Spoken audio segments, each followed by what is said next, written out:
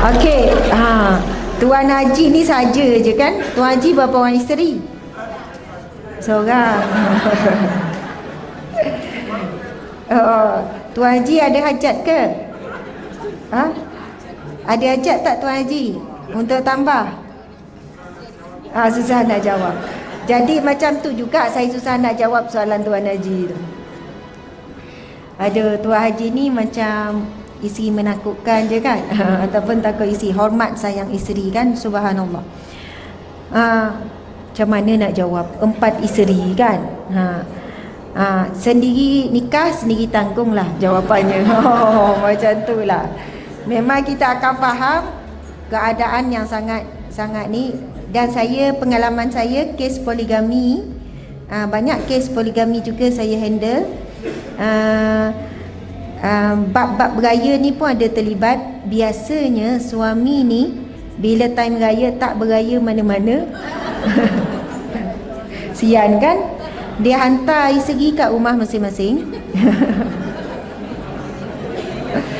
Dia hantar isteri rumah masing-masing. Hai, Assalamualaikum. Terima kasih kerana menonton. Nama saya Kamarudin Jangan lupa ya, subscribe channel saya Online Majlis Ilmu. Terima kasih. Auzubillahiminasyaitanirrajim. Bismillahirrahmanirrahim. Assalamualaikum warahmatullahi wabarakatuh. Alhamdulillah insyaallah nahnu nabda'u bi umul kitab al-Fatihah. A'udzubillahi minasyaitanirrajim. بسم الله الرحمن الرحيم. الحمد لله رب العالمين. الرحمن الرحيم. مالك يوم الدين. إياك نعبد وإياك نستعين. اهدنا الصراط المستقيم. صراط الذين أنعمت عليهم غير المغضوب عليهم ولا الضالين. آمين. آمين آمين يا رب العالمين. الحمد لله الحمد لله رب العالمين. حمدا لله صلاة وسلاما على رسول الله. سيدنا ومولانا وحبيبنا وشفيئنا محمد ابن عبد الله وعلى آله وأصحابه أولياء الله الحمد لله Bersahur makan roti bakar Apa khabar? tak boleh jawab sebab sahur makan nasi kan? Alhamdulillah mudah-mudahan kita semua sihat walafiat Hari ini kita dah masuk kepada 26 Ramadan Maksudnya termasuk hari ini kita berbaki empat hari lagi saja Ramadan, Masya Allah. Um, terlebih dahulu saya mohon maaf saya bergerak daripada Seremban Negeri Sembilan. Ha. Jadi itu yang tanya tadi Ustazah lolap ke kan? Ha, tak tahu lolap orang negeri kau tu kan? Ha, dia tanya soalan tu. Ustazah tak sampai lagi lolap kau ni kan? Ha, jadi Sebenarnya 8.30 pagi kat sana kuliah paling awal pun start 8.30. Tiba uh, di Shah Alam pun 8.30. Ha, jadi memang mencabar sikitlah kita daripada agak jauh sikit. Jadi saya mohon maaf. Uh, bila masuk highway tu kadang-kadang memang ada jam bila waktu pagi orang bekerja kan. Jadi alhamdulillah subhan alhamdulillah rabbil alamin. Allah Subhanahu wa taala mengizinkan pertemuan kita pada hujung Ramadan ni. Ha, saya terkejut juga ni saya ingat orang-orang muda je lah kot yang datang ni sebab tajuk ni macam pasal tajuk bergaduh balik raya ni kan. Rupanya orang tua pun bergaduh lagi ya. Subhanallah. Jadi sebenarnya orang Syah Alam ni tak kira lah kan tajuk apa pun yang penting duduk di majlis ilmu dan bukanlah topik tu semata-mata. So memang tajuk tu mencabar lah dari sudut peribadi sendiri pun susah nak jawab tu. Ha. Sebab konflik itu memang akan dilalui. Maksudnya subhanallah uh, dalam rumah tangga yang bahagia ataupun tidak bahagia, kedua-duanya ada banyak masalah. Betul atau tidak? Bukannya yang bahagia tu tak ada masalah. Bukannya yang bahagia tu uh, semua seronok gembira saja. Tetapi sejauh mana mereka berjaya menguruskan masalah yang timbul ataupun konflik yang timbul. Ha. Siapa biasa yang cipta konflik ni? Perempuan ke lelaki? Ah, ini ada tak Tuan Haji tu? Ha. Kan ada Tuan Haji yang ramah gitu tu. Mungkin lah nanti kita buat sikit kan. Uh, kita buat secara santai juga Mungkin ada pandangan daripada orang lelaki kan Kita boleh dengar luahan perasaan mereka oh. Sian orang lelaki Mereka tak ada hujah Tapi kan dalam hati je Tak tercakap ha, Sebab orang rumah ni Orang perempuan ni laju sangat Bubuk-bubuk macam peluru Keluar sekali peluru berpandu Dia pun terlepek kan Haa Lepas tu saya pun carilah nak cari manalah jawapan ni kan. Lepas tu adalah satu buku Asam Garam Rumah Tangga Rasulullah sallallahu alaihi wasallam.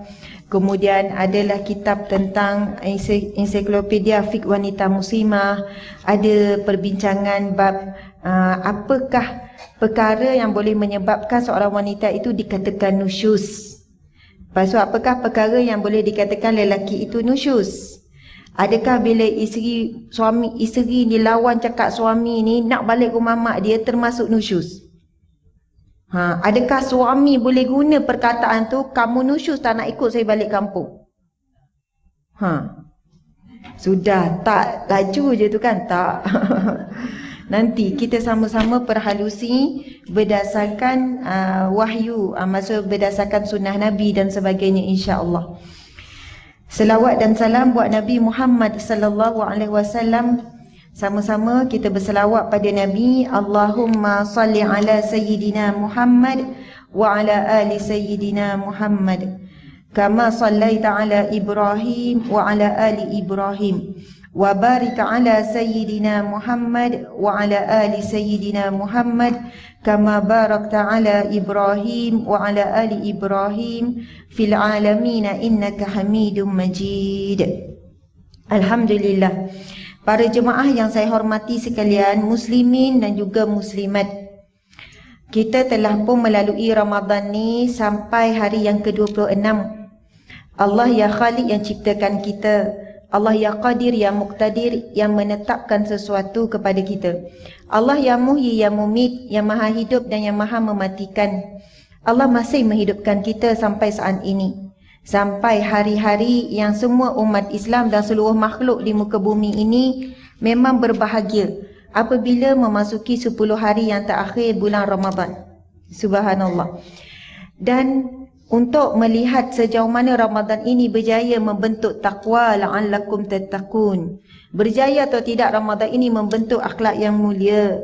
Berjaya tak Ramadan ini membentuk sabar. Syahrul Ramadan, syahrul sab.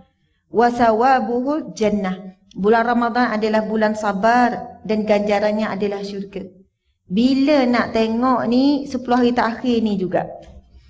Sama ada kita masih tak berterusan sabar dengan tawaran dunia yang datang begitu banyak tapi tetap sabar melakukan ketaatan kepada Allah.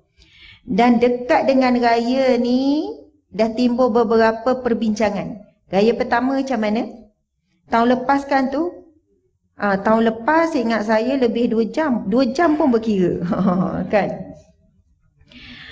Subhanallah, nak tengok hasil daripada Ramadan ni, bagaimana kita dalam sebuah rumah tangga boleh bertoleransi, boleh saling menghormati, boleh berbincang dengan baik.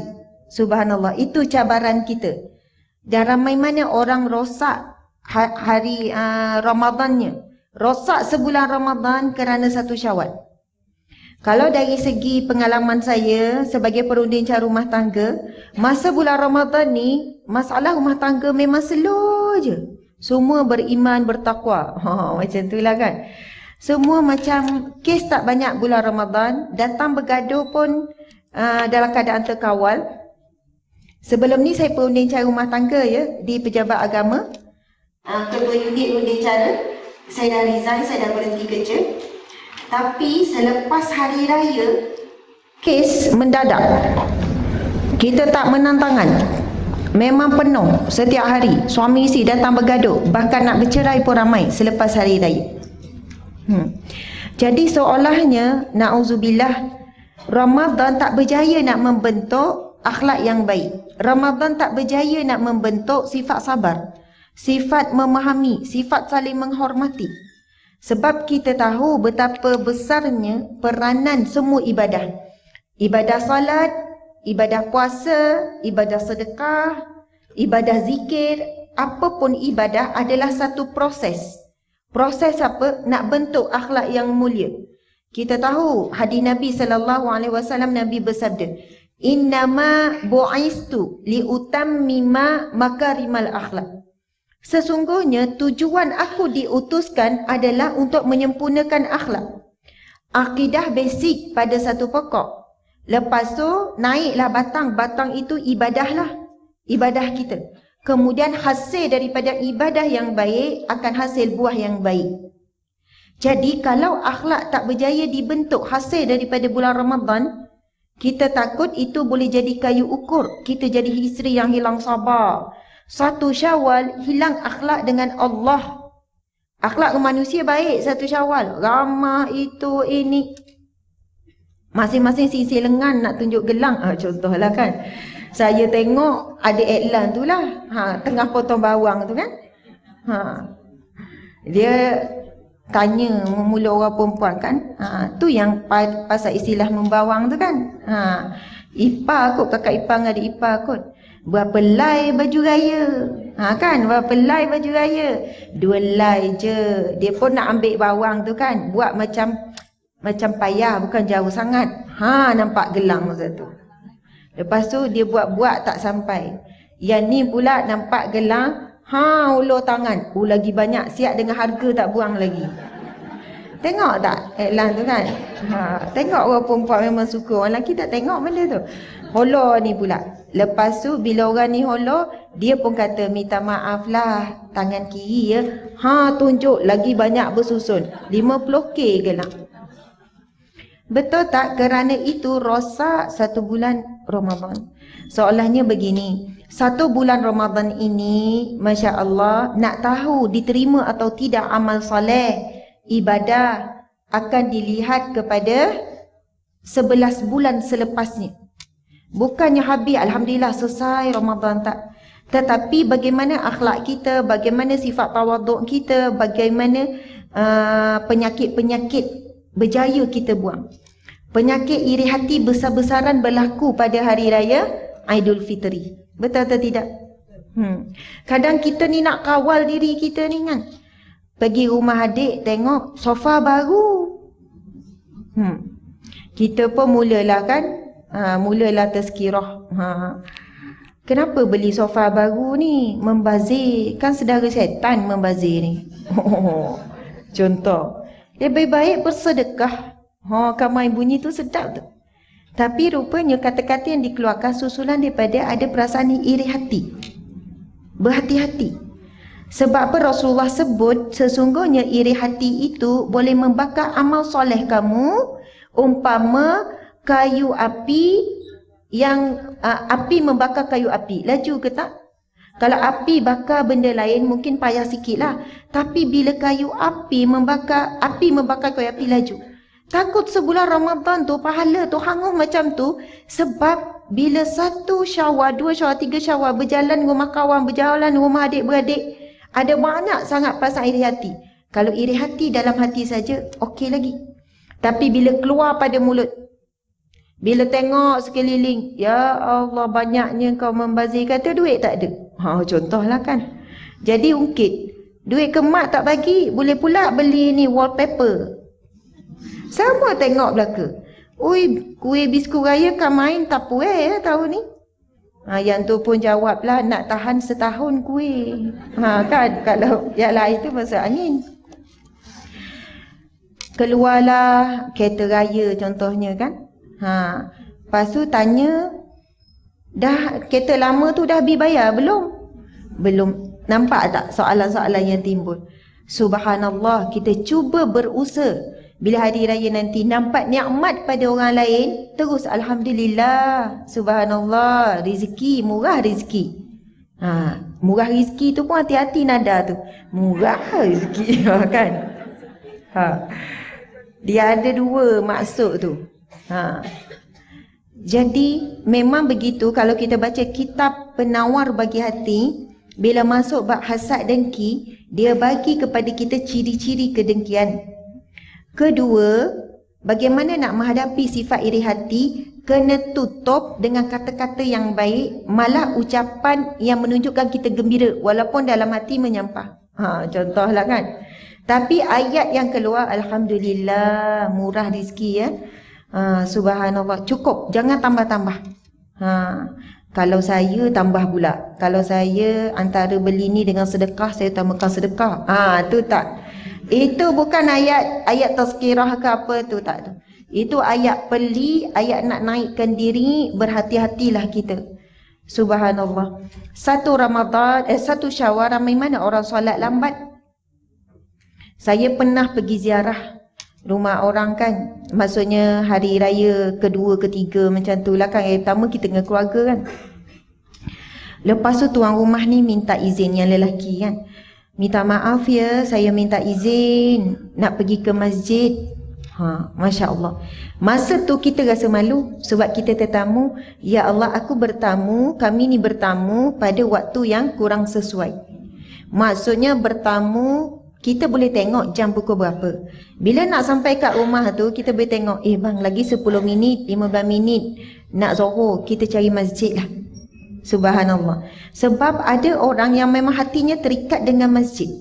Tapi dalam masa yang sama, dia tersepit antara dengan hadis Nabi. Man kana yu'minu billahi wal yaumil akhir, Nabi sebut tiga perkara. Barang siapa yang beriman kepada Allah dan hari kiamat, yang pertama Nabi sebut falyakul khaira aw liyasmut, cakap yang baik-baik atau diam. Itu orang lelaki banyak pilih diam tu. Bincang pasal raya diam, kan? Ha, dah lama jadi bengkak dalam hati dia kan. Okey. Diam ataupun cakap yang baik ataupun diam. Nabi sambung lagi, falyukrim jarahu. Ini ciri orang yang beriman dan ciri-ciri orang yang yakin tentang hadirnya hari pembalasan dia akan memuliakan jiran. Dan yang ketiga, fal yukrim dhaifuhu dan juga perlu menghormati jiran uh, menghormati tetamu. Ibu-ibu sekalian, para muslimat sekalian, sekiranya kita beli sofa baru, ha, contoh Zazan saya sebut sofa, beli sofa baru lah tu. Ha, betul saya pun beli sofa baru juga. Sofa yang ada tu dah 14 tahun dah. Ha, ada banyak kali dah mak tu komplain tenggelam duduk. Ha, kan? Jadi dengan niat nak bagi selesa untuk tetamu duduk. Kan tetamu pun sebesalah nak duduk kan? Kan patah. Ha, kan bimbang pula dia. Anak dia pula melompat lagi dia berdebar. Ha. Niat untuk membuat selesa tetamu. Bukan untuk riak, takabur, untuk ujuk. Maka dapat pahala kita. Sofa tu memang tak boleh bawa dalam kubur. Betul kan? Tapi pahala, manfaat kita beli sofa untuk bagi selesa tetamu duduk, pahalanya boleh bawa masuk ke kubur.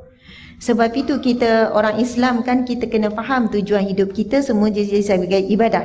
Apa harta Allah yang malik bagi, bagi, bagi Allah yang razak bagi rizki, Allah yang ghani yang muni bagi kekayaan, kita mesti terus relatekan dengan uh, dengan akhirat. Kereta kita beli, kan? Orang kata membazirnya Ha, kalau boleh beli arus, kenapa beli oh, sebut arus pula kan? Saya beli arus lah tu. tak ada. Kalau boleh beli yang murah, kenapa nak beli yang mahal? Kalau dia mampu nak beli yang mahal, apa salahnya? Betul kan? Apa salahnya nak beli yang mahal dia mampu? Tapi jadikan kereta yang mahal itu bawa kita ke majlis ilmu, bawa kita menziarahi orang-orang sakit, bawa ziarah orang sakit besar sangat pahalanya. Lepas tu uh, menziarahi sanak saudara, pergi ke masjid. Kereta mahal tu tak boleh bawa ke kubur. Manfaat daripada kereta tu boleh bawa ke kubur. Subhanallah. Ha. Sebab itu bila tanya apakah itu nikmat, ziyadatul manfaat. Nikmat tu bila bertambah manfaat. Manfaat untuk akhirat. Itu betul-betul nikmat yang Allah beri dan kita mensyukuri nikmat Allah caranya menambahkan manfaat di atas nikmat yang Allah beri. Ha, manfaat untuk apa? Untuk akhirat lah. Ha, subhanallah. Jadi, satu syawal jaga solat, kita sebagaimana kita jaga bulan Ramadan, kita jaga satu Syawal nanti, jangan solat lambat. Subhanallah yang ketiga, jangan sampai tinggal Al-Quran. Kan sibuk, ramai tak sempat baca Quran. Kita memang tak akan sama baca dengan bulan Ramadan banyak. Sekurang-kurangnya jangan sampai tak buka al Al-Quran. Sebab ini hari pertama nak menguji sejauh mana Ramadan kita ni berjaya bentuk diri kita ni. Subhanallah. Satu Ramadan nanti terbuka luas apa dia? Aktiviti membawa, mengunyit, menghalia semua tu kan? Ha. InsyaAllah. Ah, satu Ramadan, minta maaf, satu syawal. Bukan orang muda saja. Orang tua pun sangat mencabar. Tiba balik menantu yang pemalas tu kan? Ha. Yang memang dia keluar time makan je. Ha. Time masak-masak-masak tu dia buat sibuk dengan anak kecil dia lah. Dia buat sibuk itulah. Betul tak tidak? Mak mertua ni bengkak. Hmm.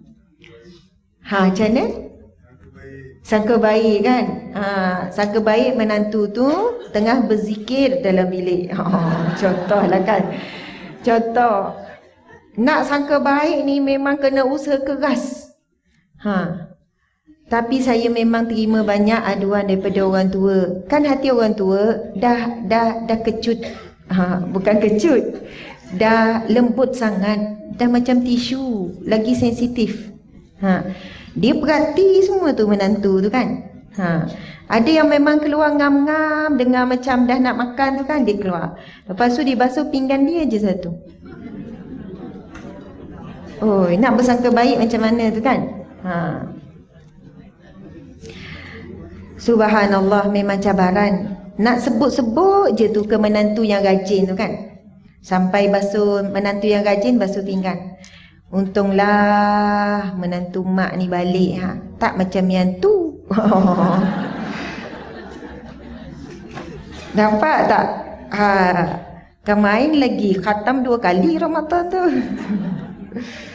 Susah nak jaga ibu-ibu sekalian. Ha. Mak, bapak mertua orang lelaki dia tak dia tak perasan semua tu tu. Dia tak tengok tu. Mak ni masuk bilik mengadulah pada bapak ni kan atuk ni. Geramnya saya. Itulah dulu dapat menantu kaya. Ah libatkan menantu kaya pula. Contohlah kan ni anak orang kaya contoh bukan saya kata anak kaya pemalas bukan ya. Tapi kadang-kadang itu cabarannya bila anak orang kaya contohnya rumahnya ada orang gaji daripada kecil memang orang gaji uruskan. Jadi ibu mertua, ibu-ibu sekarang kena bersedia. Kadang bukan salah anak menantu tu. Tapi sebab dia tak biasa dan nak berubah 20 tahun, 30 tahun dia dibesarkan begitu, bukan mudah nak ubah 2 3 tahun. Saya handle kes macam ni banyak bila saya tanya, puan, puan kenalah berubah. Puan sekarang dah jadi menantu. Suami datang mengadu ni. Sebab asyik konflik dengan mak ni. Mak tak suka isteri ni. Sebab tak pandai buat kerja rumah ni, buat hal dia je ni. Ha, bila raya lagi lah rasa nak marah tu apa semua. Saya tanya isteri ni, puan kenapa puan tak boleh nak ni? Ustazah, saya memang dibesarkan macam ni. Saya tak pernah buat kerja rumah. Pinggan mangkuk memang semua orang basuh apa semua. Bagilah saya masa. Bukan senang saya nak berubah. Sebab saya dibesarkan dalam keadaan begini. Sama ada rumah dia ada maid. Kedua, ibu yang terlalu memanjakan anak. Balik sekolah kan? Balik sekolah, ah tak apa tak apa pergi rehat. Mak ni panggil anak bila tak nak makan saja. Berhati-hati ibu-ibu sekalian, ibu-ibu muda, jangan kita didik anak kita macam ni. Balik sekolah, anak ni ah mari makan. Lepas makan, ah tak apa setangan mak basuh. Banyak kerja sekolah kan, pergi basuh. Pendidikan anak-anak yang paling mahal pendidikan kendiri. Iaitu pendidikan menguruskan diri sendiri. Seorang ibu kalau tak bagi pendidikan ini, saya seolahnya boleh cakap jangan menyesal akan datang. Jangan menyesal. Walaupun anak ni dah besar dan nikah bila balik rumah, dia akan duduk tengok TV, dia akan duduk di bilik, dia tetap dia lupa kita dah tua. Sebab saya handle banyak aduan ibu-ibu macam ni. Hmm. Anak yang dibiasakan tak biasa urus diri sendiri, kita pergi rumah dia bersepah. Tengok pinggang mangkuk pun bertimbun. Anak kita tu, anak kita tu. Kita tak boleh nak didik lagi sebulan nak nikah. Baiklah hari ni mak nak mengajar macam mana menyapu dengan cekap dan juga dengan bersih. Orang yang tak biasa menyapu, dia menyapu macam tak menyapu. Macam orang sebelah lah. Bukan. Ha. Bukan orang sebelah sini tuan ya. Ha. Orang kecil pula. Sebelah negeri. Sebelah negeri. Kadang kan tuan-tuan kan menyapu lepas tu isteri membebelkan. Menyapu macam tak menyapu. Ha. Sebab benda tu kemahiran bukannya sebulan dua dia latih. Orang yang cekap menyapu, semua tu ujung tepi eh, lain. Kita yang biasa menyapu dengan orang tak biasa menyapu, orang menyapu kita akan nampak, ni ni ni, celah-celah ni tak tarik, kenapa tak tarik daripada bawah? Betul atau tidak? Dan orang yang cekap menyapu, dia tak rasa penat pun menyapu. Ha. Orang yang baik tak cekap, pegang penyapu pun kita tahu. Kan cara tu kan, kita pun habis betulkan. Sampai tua duk betulkan penyapu. Kalau tak cekap lipat kain, tak cantik baju. Besar kecil, besar kecil, besar kecil. Ha. Bergulung. Betul tak? Betul tak Tuan Haji? Ha. Betul lah tu. Hmm. Ya, tak apa. Sila Tuan Haji. Cantik. Ini. Ah, main macam tu je. Betul. Saya bukan nak komen lah. Saya sisi saya tu orang Jawa. Orang Jawa. Jawa terbaik. Ada orang rumah dekat sini? Ha? Tak tak ada. Oh, subhanallah. Tapi tadi tu lah. Tadi ada disiplin. Ah, disiplin. Lepas tu disiplin tu kena turunkan pada anak. Subhanallah. Saya pernah uh, dua bulan yang lepas ada satu kursus saya handle, bukan saya handle lah, anjuran Jabatan Agama Islam Negeri Sembilan bawah bahagian undang-undang keluarga. Dia ada satu kursus sebenarnya semua negeri tapi ada negeri aktif atau tidak. Kita biasa dengar kursus pra perkahwinan sebelum kahwin. Tapi ini kursus pasca perkahwinan. Saya pernah bersama dengan usia perkahwinan 20 tahun ke atas yang datang nenek-nenek. Umur 60 lebih ada, 70 lebih ada, 50 lebih ada. Yang dah kahwin lebih 30 tahun. Kursus ni, suami isteri datang ni. Mengangkat-angkat. Ada yang isteri kena pimpin apa semua. Lepas tu ada yang perkahwinan 10 tahun. Ada yang perkahwinan 5 tahun ke atas. Dia semua ada kategori. Bila saya tengok yang kekal lama ni, tangan asyik berpimpin je. Ha, mata kita pun berbulu je. Tapi memang ada bulu, memang ada bulu. Tapi nak sebut, ya Allah, makin tua, kalau boleh kekal sampai 30 tahun, 40 tahun, kita boleh belajar banyak benda daripada dia. Kalau saya, saya temu ramah Pak Cik, kahwin berapa tahun dah? 40 tahun lebih Ustazah. Dia datang berdua kan, apa rahsia rumah tangga? Dia kata, uh, lagi banyak bergaduh, lagi bagus. Ada seorang orang tua tu jawab macam tu, saya saya tak tipu. Tapi bergaduh yang cepat selesai. Kalau tak bergaduh, tak ada modal Ustazah nak bercakap. Bila dah tua, faham tak? Kadang bergaduh pasal cucu, kadang pasal anak. Kalau nak cakap pasal kami, dah tak ada benda nak cakap. Dah 40 tahun hidup. Ha, jadi sekali-sekali bergaduh tu macam main tarik tali. Itu menguatkan. Tapi bukan bergaduh macam orang muda sekarang. Lepas tu akan ada episod minta maaf apa semua. Itu normal. Ha, baru ada komunikasi. Mungkin itu cara dia lah. Anak lapan orang, semua berjaya. Saya nak cerita pasal lipat kain tu. Antara aktiviti kita buat, perkahwinan lima tahun ke atas. Kita suruh bawa baju berapa helai, uh, satu persalinan lelaki dan perempuan. Mula-mula suami dulu lipat. Dalam kiraan uh, dua minit.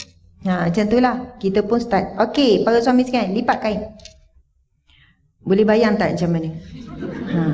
Bergulung-gulung. Memang dia sorok je tu. Tak ada tarik-tarik ni. Kita buat terbalik dulu. Lepas tu dia kata siap. Orang lelaki asal siap. Biar tak cantik pun. Kata cepatnya tuan siap. Siap. Yang penting siap. Ha. Jangan letak baju je kot. Ha, simple je kan. Bila time orang perempuan laju juga. Tapi cantik. Orang lelaki garu kepala. Macam mana awak buat ya? Ha, subhanallah. Dan masa tu saya kata, tuan-tuan, benda ni nampak remeh, tapi inilah kerja isi-isi tuan-tuan tolong hargai. Yang tuan-tuan selama ni tak tak nampak bagaimana susah walaupun tangan tuan-tuan besar, lebih besar daripada tangan isteri, tetapi ini kelebihan yang Allah bagi kepada seorang wanita.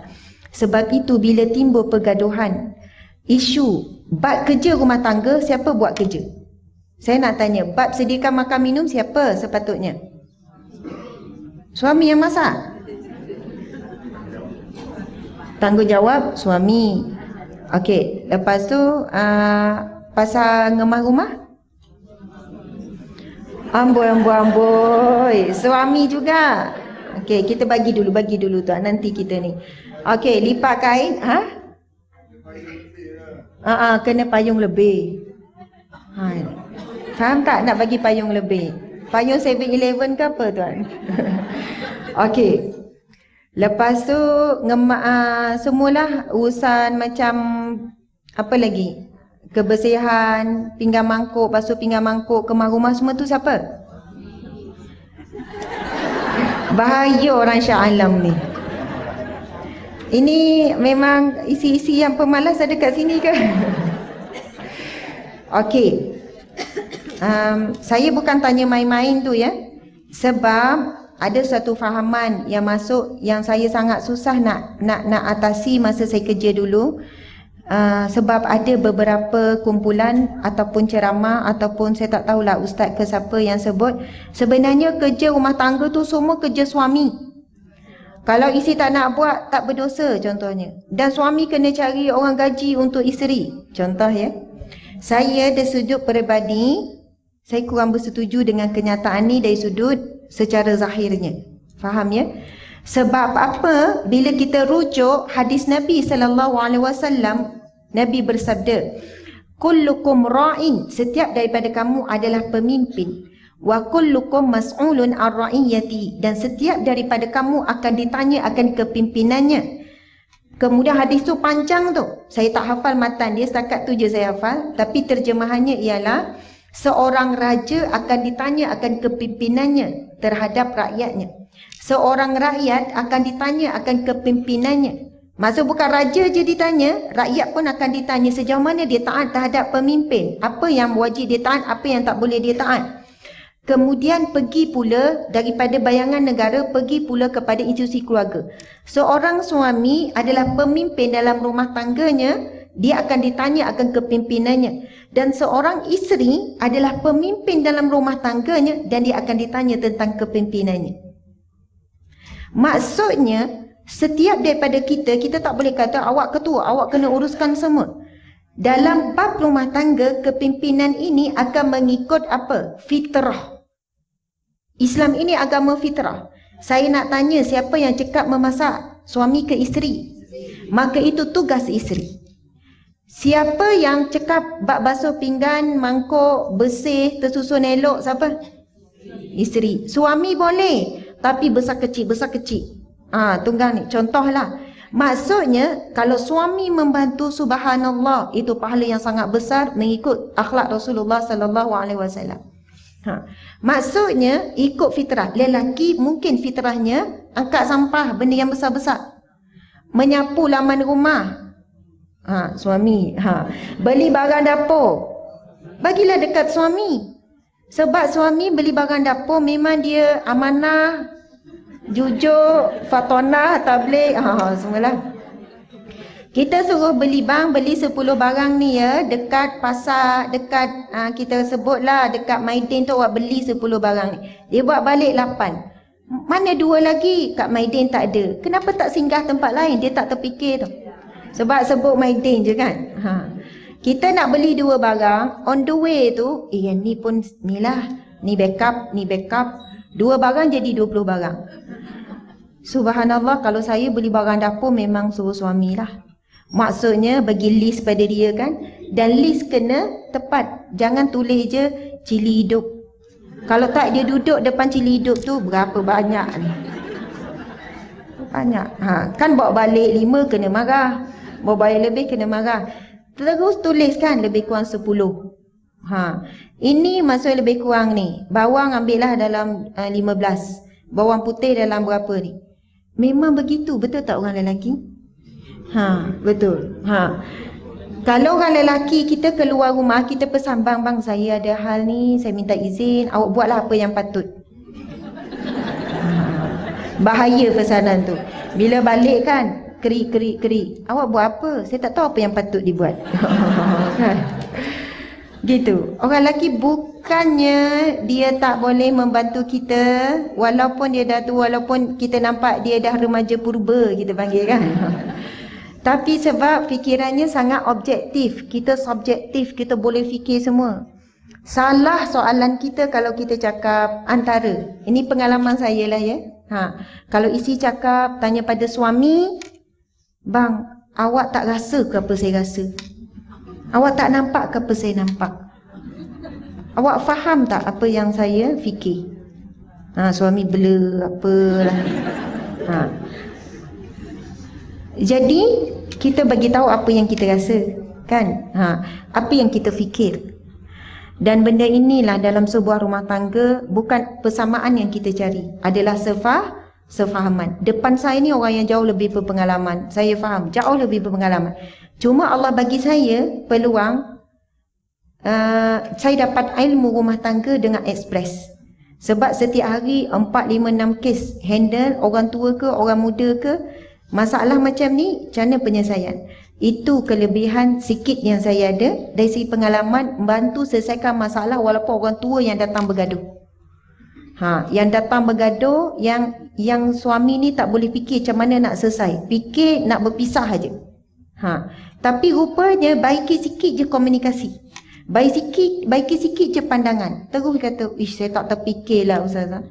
Sebab apa? Kita dilatih, kita kena masuk kursus tu, kursus ni, belajar tu, belajar ni. Ha, subhanallah. Baiklah. Ha, cerita apa kita hari ni? Tajuk, tajuk kita. Kembali pada tajuk. Pasal hari raya. Okey, tapi saya nak sebut juga lagi, satu Aidilfitri berhati-hati pasal membawang tu, kita walaupun menantu ke anak ke hari tu anak saya semalam lah anak saya tanya Umi boleh ke seorang ibu buka aib seorang anak dia saya pun terfikir baik Atikah cakap direct. Atikah nak cakap apa? Maksudnya ha, saya selalu sebut nama Atikah ni anak sulung saya dan uh, tingkatan satu. Saya enam orang anak nak masuk tujuh insyaAllah. Jadi uh, dia banyak komunikasi dengan saya lah. Ha, kan banyak ikut.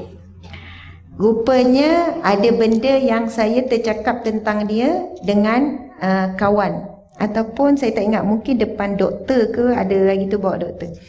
Lepas tu saya pun jelaskan tentang buka aib seorang anak. Seorang ibu pun tak boleh buka aib anak dia. Betul atau tidak? Kadang elok dah orang puji rajinnya anak kau ni kan alah depan orang. Kalau kat rumah pemalas. Ha. Buka aib, betul kan? Orang puji anak lemah lembutnya anak. Buntung ada anak lemah lembut kat rumah kasar. Dah elok Allah tutup aib anak kita, kita nak buka aib. Hmm. Eh baiknya anak-anak ustazah hmm, kat rumah bergaduh. Contoh kan, kita tak sedar mulut kita macam nak merendah diri. Faham tak? Maksudnya, kita soalannya macam, biasa je anak kita ni. Ucap saja Alham, Alhamdulillah. Sebab itu, para sahabat apabila dipuji, macam mana jawapan para sahabat bila dipuji? Sahabat bila dipuji, ramai para sahabat ni memang suka dipuji. Orang Arab memang suka memuji. Kalau saya dulu belajar Mesir kan, orang Arab ni memang mulut dia tu manis sangat. Kan, nampak je orang Malaysia ahsanun nas fil ardillah, sebaik-baik manusia di atas muka bumi Allah. Ha, betul. Ha, Malaysia, Malaysia ahsanun nas fi ah, fi ardillah. Kita kalau tak tak faham dia memang kembang lah, bukan semangkuk, setalam tu. Oi, jalan tak pijak bumi tu kena puji. Padahal nak suruh beli kuih uh, buah dia. Kita dah kena puji tu memanglah naam naam naam beli terus balik semua busung. Tak sedar tu dia masuk uh, buah busung sebab makan pujian tadi tu. Ajmalun nas fil ard secantik-cantik manusia. Oh, kan? Orang Arab memang suka memuji. Sahabat Nabi sallallahu alaihi wasallam bila dipuji dia akan doa, "Ya Allah, ampunilah dia kerana dia tidak tahu tentang keburukanku." Dan ampunilah aku kerana aku lebih buruk daripada apa yang diperkatakan dan jadikanlah aku lebih baik daripada apa yang mereka sangkakan. Itu tiga doa. Kita contohlah orang datang rumah kan, rumah bersih orang puji. Kemasnya rumah macam tak ada anak kecil contoh. Kita pun buka aib sendiri. Tak ada tak dia bersepah ni nak datang kemaslah. Perasan tak mulut kita kan? Dah elok Allah tutup aib kita tu, tak payahlah nak buka cerita tu. Lepas tu orang puji pula suami bersepinggan. Rajinnya suami bersepinggan. Hari ni baru basuh tu. Astaghfirullahalazim. Betul atau tidak? Ha. Jadi berhati-hati bila datang je apa orang yang nampak dengan mata lalu dia memuji Alhamdulillah maksudnya kita ucap syukur kemudian kita doa doa depan dia dia tambah pula puji ya Allah ampunilah dia dengan apa yang dia tak tahu Ampunilah aku sebab aku bukan begitu dan jadikanlah aku lebih baik daripada sangkaannya. Doalah sendiri, doa dalam hati dan sebagainya supaya kita tak riak, ujub, takabur. Orang puji, rumah bersih. Ha, tengoklah siapa. Ha, itu jawapan riak tu kan. Lepas tu, saya memang macam ni. Saya tak boleh hidup bersepah. Memang macam ni setiap masa. Tak payahlah takut tambah. Begitu. Semua ni akan berlaku. Keluar air raya nanti kan pinggang korel semua keluar. Betul tak? Ha. Suami kata setahun sekali boleh rasa korel. Ha. Habis raya simpan. Ha. Contohlah kan? Ha. Semua itu boleh menguji rasa riak kita. Sebab kita akan keluarkan semua yang cantik-cantik untuk dihidang oleh tetamu. Jadi setiap kali dipuji apa? Istighfar, astaghfirullahalazim. Mulut kita pun kita cakaplah kan alhamdulillah. Ada sahabat Nabi bila dipuji dia baling pasir. Tapi bukanlah ke muka. Sebab apa? Dia merasakan pujian itu merosakkan ibadah dia. Merosakkan niat dia. Ha. Dia niat nak dapat pahala layan tetamu. Tapi rupanya bertukar niat boleh berbangga-bangga pula dengan pujian tetamu. Ha, jadi itulah satu Ramadan satu Syawal nanti banyak perkara yang akan menguji kita wanita sekalian pakaian kita. Pakaian kita betul atau tidak? Jaga aurat pada satu syawal. Nak berhias, nak bercantik, nak berfashion, bukan Islam larang. Islam agama fitrah. Sesuai dengan keinginan fitrah kita orang perempuan dan juga orang lelaki. Tetapi biarlah kita bercantik bukan depan manusia saja nampak juga cantik pada pandangan Allah Subhanahu Wa Taala. Jangan ketat, jangan jarang, tudung jangan singkat, dan Alhamdulillah yang datang ni subhanallah semua okey. Tapi saya sebut ni untuk live. Betul tak? Sebab live ni ada ramai lagi orang luar yang tengok. Perasan atau tidak, sekarang fashion anak muda kita balik pada fashion 60-an, 70-an. Iaitu pakai selendang ke belakang. Sebab ikut beberapa orang artis yang keluarkan fashion tudung tu. Saya tak sebutlah artis mana.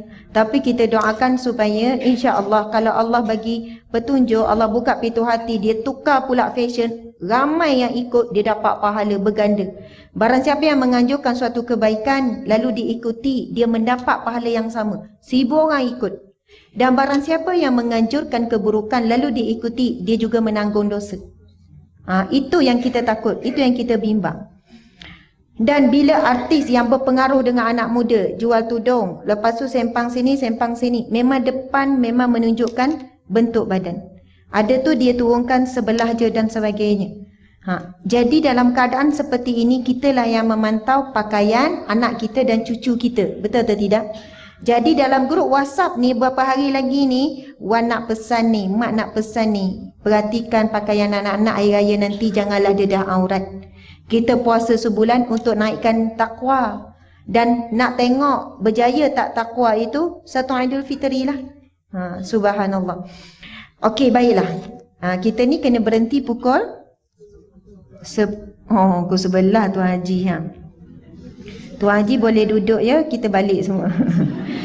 ha, jadi nak sebutnya tadi tu, saya tak habis lagi minta maaf. Kita wanita juga pemimpin dalam rumah tangga kita. Dan kita akan ditanya akan kepimpinan. Antara perbincangan ulama, tanggungjawab nombor satu isteri adalah antaranya uh, ada banyaklah listnya tapi menjadi guru ataupun madrasah pertama kepada anak. Bab pendidikan anak-anak memang berat kepada seorang ibu. Dan memang ibu lebih dekat dalam mendidik anak. Dari segi cara anak tu bercakap, cara anak tu duduk, akhlak, berakhlak, beradab. Cara menghormati orang tua, dari segi cara makan, cara minum, cara tidur, semua ini memang orang perempuan lebih detail. Betul atau tidak? Orang perempuan lebih perhatikan. Sama juga nak latih doa-doa, nak baca ni. Ada kata Ustazah, pendidikan tu kan suami kan? ketua keluarga dia yang wajib mendidik anak. Memang betul kewajipan ni pada suami. Tapi kemampuan dan kebolehan mendidik tu memang semula jadi diberi kurniaan kepada seorang ibu. Betul atau tidak ibu-ibu sekalian? Sebab ibu ni Allah bagi fikiran sangat detail. Sangat kita panggil apa? Sistematik, detail. Orang lelaki bukan kata tak detail. Mari kita buat uji kaji sikit ya. Okey, Tuan Haji, baju orange. Cuba bayangkan peti ais. Okey, macam mana peti ais? Ha. Ha, petak ada dua pintu. Ha, ha. Uh, peti ais haji buka tengah. Oh, besarlah ya. Yang buka tengah tu ya. Ha, bukan ni. Okey. Subhanallah. Betul tak jawapan dia? Betul lah. Okey, orang perempuan pula. Cuba bayangkan peti ais. Okey, nampak apa? Macam mana peti ais? Hmm? Ada nampak warna, puan nampak apa? Oh, nampak dalam dia tu. Ha. Sebab tu orang perempuan dia boleh cakap, "Bambang tolong ambil uh, apa ni uh, sambal belacan tu, belacan tu saya nak buat sambal tingkat nombor dua dalam bekas kuning kiri sikit."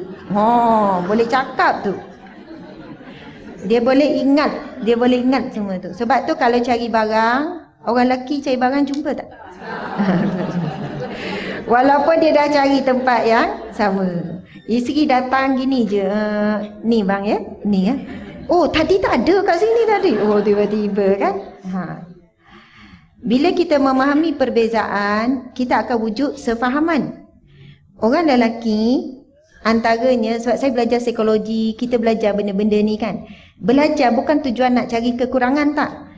Ini kelebihan orang lelaki. Ini kelebihan orang perempuan. Untuk disatukan. Kita tak boleh minta suami fikir apa yang kita fikir. Memang tak sama. Jangan minta. Ha. Kalau suami kata boleh tak awak diam? Nak tanya boleh diam tak? Ha, ha. Sebab tu jangan paksa suami awak bercakaplah, bercakaplah. Memang tak boleh. Kalau tanya suami, bang macam mana kuliah? Macam biasa. Kalau orang perempuan macam mana tadi ceramah? Tarik nafas dah panjang. Awak memang menyentuh hati bang. Allahu Akbar. Mukadimah tak masuk isi lagi tu. Saya rasa kita kena banyak buat perubahan. Banyak benda dalam hidup kita. Oh, emosi dulu, emosi dulu. Siap tokok tambah. Ustazah tak cakap pun dia cakap. Sebab senang Ustazah pesan macam ni. Ustazah cakap macam ni, ha, macam ni. Ha. Padahal yang tu masuk bab dia dah tu. Sebab orang perempuan dia akan simpan, dia akan rasa ha, ini belum tentu ni kan suka-suka tahu masuk ke tak ni kan. Ha, subhanallah. Orang lelaki dia ada satu mesin auto delete. Auto delete. Satu bila kita tanya bang kerja macam mana? Okey. Padahal dia ada kena marah, ada konflik di pejabat, ada cerita. Tapi jawapan dia standard. Okey kerja. Ha, kalau suami ni terlepas tanyalah awak macam mana kerja? Ha, silap lah. Ha kan.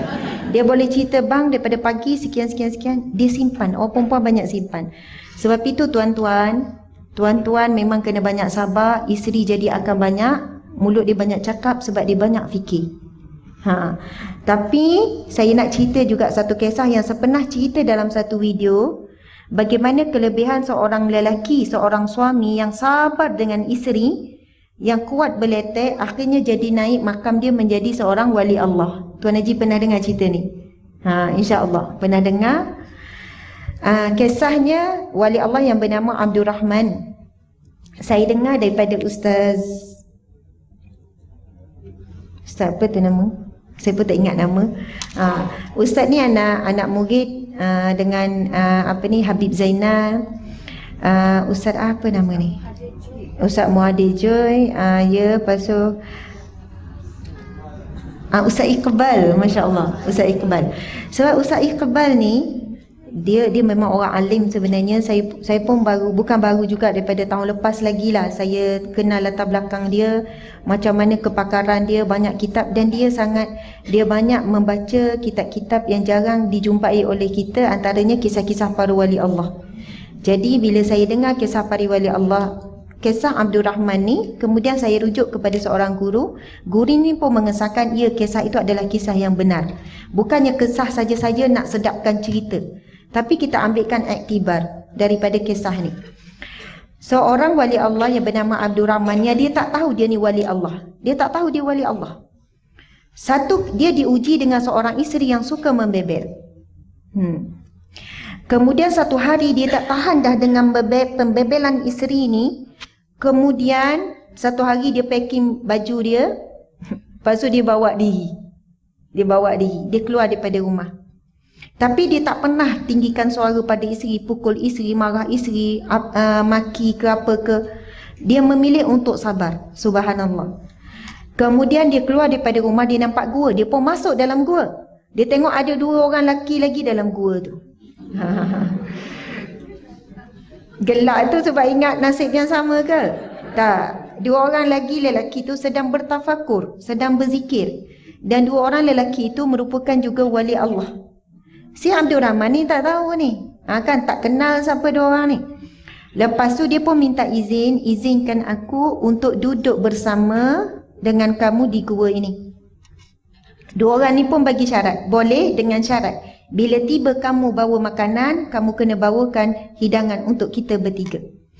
Lalu Abdul Rahman pun tengoklah apa yang dibuat oleh dua orang ni solat, zikir, baca Quran, masa, uh, Masya Allah. Maksudnya penuh dengan uh, ibadah-ibadah. Tiba waktu makan, turun makanan. Turun makanan. Tak, tak tahu daripada mana sumber. Ini antara karamah wali Allah.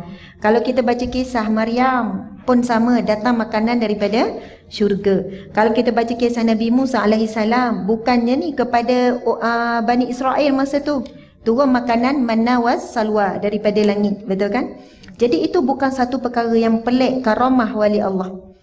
Jadi dia pun perhati. Lepas hari kedua pun sama ada makanan. Tiba giliran harinya yang ketiga hari ketiga dia dah mula rasa takut ah sudah ha, boleh tak ni dia ni nak bawa makanan ni ni dalam hutan ni apa semua ni Kemudian dia pun dah belajar zikir apa semua. Kemudian dia tengok apa amalan dua orang ni dia pun buat-buat-buat. Subhanallah turunlah hidangan yang lebih sedap daripada hidangan dua orang tadi. Jadi dua orang ni pun tanya, siapakah kamu sebenarnya? Dan bagaimana hidangan kamu lebih sedap, lebih lazat daripada hidangan kami? Lalu dia pun kata, Sebelum aku jawab, Abdul Rahman ni kata, sebelum aku jawab, kamu kena jawab dulu soalanku dengan siapakah kamu bertawasul? Ha, istilah tawasul ni. Fahamkan tawasul ni? Kita, hari-hari kita berdoa, kita bertawasul dengan nama Nabi Muhammad sallallahu alaihi wasallam contohnya. Tawasul ni dalam mazhab syafi'i kita, dalam ahli sunnah wal jamaah, ia tidak bersalahan pun dengan akidah kita. Perasan tak kita bila kita doa kita akan memula muji Allah. Alhamdulillah rabbil alamin. Kemudian kita akan sebut wassalatu wassalamu ala asyrafil anbiya wal mursalin. Maksudnya kita seolahnya terus bertawasul dengan nama Nabi Muhammad sallallahu alaihi wasallam. Tawasul ni menggunakan nama-nama orang yang Allah cinta, yang dekat dengan Allah. Mungkin orang alim, mungkin orang soleh yang kita sebut namanya ya Allah saya menumpang kesalehan. Guru-guru saya share sekian-sekian ya Allah makbulkanlah hajat. Contoh ha. Kalau kita pula kadang-kadang kita tumpang ni tawasul guna nama anak nama cucu. Ha contohlah kan? Ha. Ni bang cucu ni nak makan KFC padahal wan nak makan KFC ha kan? Guna nama cucu kalau kita yang cakap saya nak makan KFC, ha, suami kata buang tebiat ke awak ni? Kan tercabut gigi, poliden tak pakai. Ha, contohlah kan. Tapi bila sebut cucu eh, sejuk hati. Ha, betul tak? Ha, jadi atuk tak perasan tu kita guna nama cucu tu. Ha. Kadang tu kita guna nama anak. Dulu ada anak kan? Ha, mak nak beli kasut raya anak-anak ni ha. Padahal mak ni nak beli kasut raya ni. Ha. Jadi bila kita sebut nama orang kepada suami contoh orang terdekat, ia kan melembutkan hati, menyejukkan hati, memujuk. Subhanallah. Bila kita sebut dalam permintaan permohonan kita dengan Allah, kita sebut nama-nama yang paling dicintai Rasulullah. Kita sebut pula nama-nama para nabi contohnya orang saleh. Kemudian barulah kita minta hajat dengan Allah Subhanahu Wa Taala. Jadi dua orang ni pun jawab, dia bertawasul dengan siapa? kami bertawasul dengan sekian-sekian termasuk nama dia. Ha, termasuk disebut nama dia dalam tawasul. Lepas tu dua orang ni pun tanya, kamu pula bertawasul dengan siapa? Sebenarnya saya tak kenal nama-nama ulama orang-orang yang kamu sebut. Saya ketika berdoa, Ya Allah, aku bertawasul dengan dua orang ini bertawasul. Ha, faham tak? Ha. Jadi rupanya dia bertawasul dengan diri dia. Sebab dua orang ni, lepas tu dua orang ni pun tanya, siapakah kamu sebenarnya? Dia pun kenalkan diri. Subhanallah dia kata, kamulah wali Allah yang guru kami suruh cari. Yang kami cari-cari. Dua orang ni mengembara, mencari dia. Ha, seorang lagi wali Allah, sama-sama wali Allah ni kan, maksudnya cari yang disebut oleh guru kami supaya kami cari. Lepas tu dua orang ni tanya, apakah amalan kamu? Sebab makam kamu seolahnya lebih tinggi daripada kami. Apakah amal soleh kamu? Abdul Rahman pun baru terkejut, baru tahu ni. Dia ni adalah wali Allah. Maksudnya wali ni orang yang rapat, akrab dengan Allah tapi perhatikan apa amalan Abdul Rahman. Kemudian Abdul Rahman ni pun ingat-ingat dia kata aku tak ada amalan yang baik. Aku tak ada amalan khusus seperti kamu, zikir-zikir dan sebagainya. Tetapi sepanjang hidupku aku diuji dengan isteri yang membebel. Lalu aku memilih sabar, sabar, sabar. Subhanallah. Sebab itu, Masya Allah, ada orang naik darjat di sisi Allah sebab sabar. Tuan-tuan, Masya Allah, tuan-tuan sabar, tuan-tuan haji sabar dengan isteri, sabar dengan anak. Ha, isteri lah paling mencabar. Ha, mudah-mudahan makam tuan-tuan ni naik di sisi Allah. Jadi lepas ni kalau isteri bebel pun, anggap makam sedang dinaikkan. Ha, ha, ha, macam tu kan. Soalannya begitulah subhanallah. Sebab firman Allah, Allah berfirman, "Innama yuwaffas sabiruna ajrahum bighairi hisab." Sesungguhnya pahala sabar akan dicukupkan tanpa batasan. 30 tahun sabar dengan suami, sabar dengan isteri, sabar dengan anak, ngejiran adik-beradik. Kita menghimpun pahala sabar yang begitu banyak. Innallaha ma'as sabirin. Orang sabar bersama dengan bersama dengan Allah. Allah bersama dengan orang sabar. Kedudukan orang sabar bukan kedudukannya bersama manusia biasa, tapi akan berada kedudukan bersama dengan Allah sudah tentu di syurga Allah. Allah berfirman lagi, Salamun alaikum bima sabartum. Salam sejahtera ke atas kamu disebabkan sabar kamu di dunia dahulu. Subhanallah, memang jalan-jalan kenabian, jalan-jalan kewalian adalah jalan-jalan kesabaran. Sabar wali-wali Allah ini zikir-zikir sejam dua jam. Jemu pun zikir-zikir. Melawan, sabar melawan rasa jemu. Mengantuk, penat, lapar. Tapi kita nak sabar dengan makanan. Makanan banyak, tak boleh sabar. Nak sabar dengan rehat. Ekon ada, sofa ada. Betul tak? Saya nak tanya, kita ni nak masuk syurga, nak guna laluan mana ni? Laluan salat, lemah sangat kita ni. Laluan sedekah, sikit tak banyak. Laluan apa? Sebab itu Allah berikan kita ujian demi ujian supaya kita ada laluan ke syurga Allah. Kita masuk melalui pintu sabar. Subhanallah, mudah-mudahan. Jadi bila Abdul Rahman ni disebut, dia sebut begitu, dua orang tu kata kalau begitu tempat kamu bukan di gua ini, tempat kamu pulang ke rumah. Sebab apa? Naiknya makam kamu, pahala kamu, kedudukan kamu sebab kamu sabar dengan isteri. Dan di mereka ni, kewalian mereka melalui jalan zikrullah lah. Tapi dia berbeza. Ha. Bila dia balik ke rumah, dia bagi salam, isteri tak buka pintu waktu malam. Lalu dia pun tidurlah depan rumah Abdul Rahman ni. Tapi masa ni okey dah lah. Naik makam. Ha, macam itulah kan. Maksudnya sabarlah, sabar. Sampailah awal pagi, mungkin belum subuh, isteri buka pintu. Lalu isteri pun kata, wahai suamiku, sekarang kamu sudah tahu, kamu adalah salah seorang daripada wali Allah. Persoalannya macam mana isteri tahu? Isteri juga adalah wali Allah. Ini kisah suami isteri wali Allah. Isteri ni bukan bebel macam kita. Bebel benda yang baik, bebel dalam keadaan mengikut syariat. Janganlah pula kita balik bang, saya bebel bukan saja-saja ya. Oh, kan. Saya nak naikkan makam awak dan saya nak ada ciri-ciri kewalian. Oh. Kita ni bukan macam tu lah. Maksudnya isteri ni memang hebat juga ibadahnya, hebatnya juga zikrullah apa semua. Tapi bagaimana dia nak naikkan mungkin suaminya bukan kuat dari sudut amal ibadah, tapi naik juga darjat sama-sama wali Allah dari sudut dia beri tekanan dari sudut mebel tu. Ha, tapi kita jangan salah guna hujah ya. Bang saya bukan saja-saja 20 tahun ni bebel pada awak. Oh, tidak, itu nafsu kita tu. Betul kan? Itu adalah memang diri kita tu. Ha, subhanallah. Moga cerita tu boleh jadikan pengajaran bagi kita terutamanya motivasi bagi orang lelaki.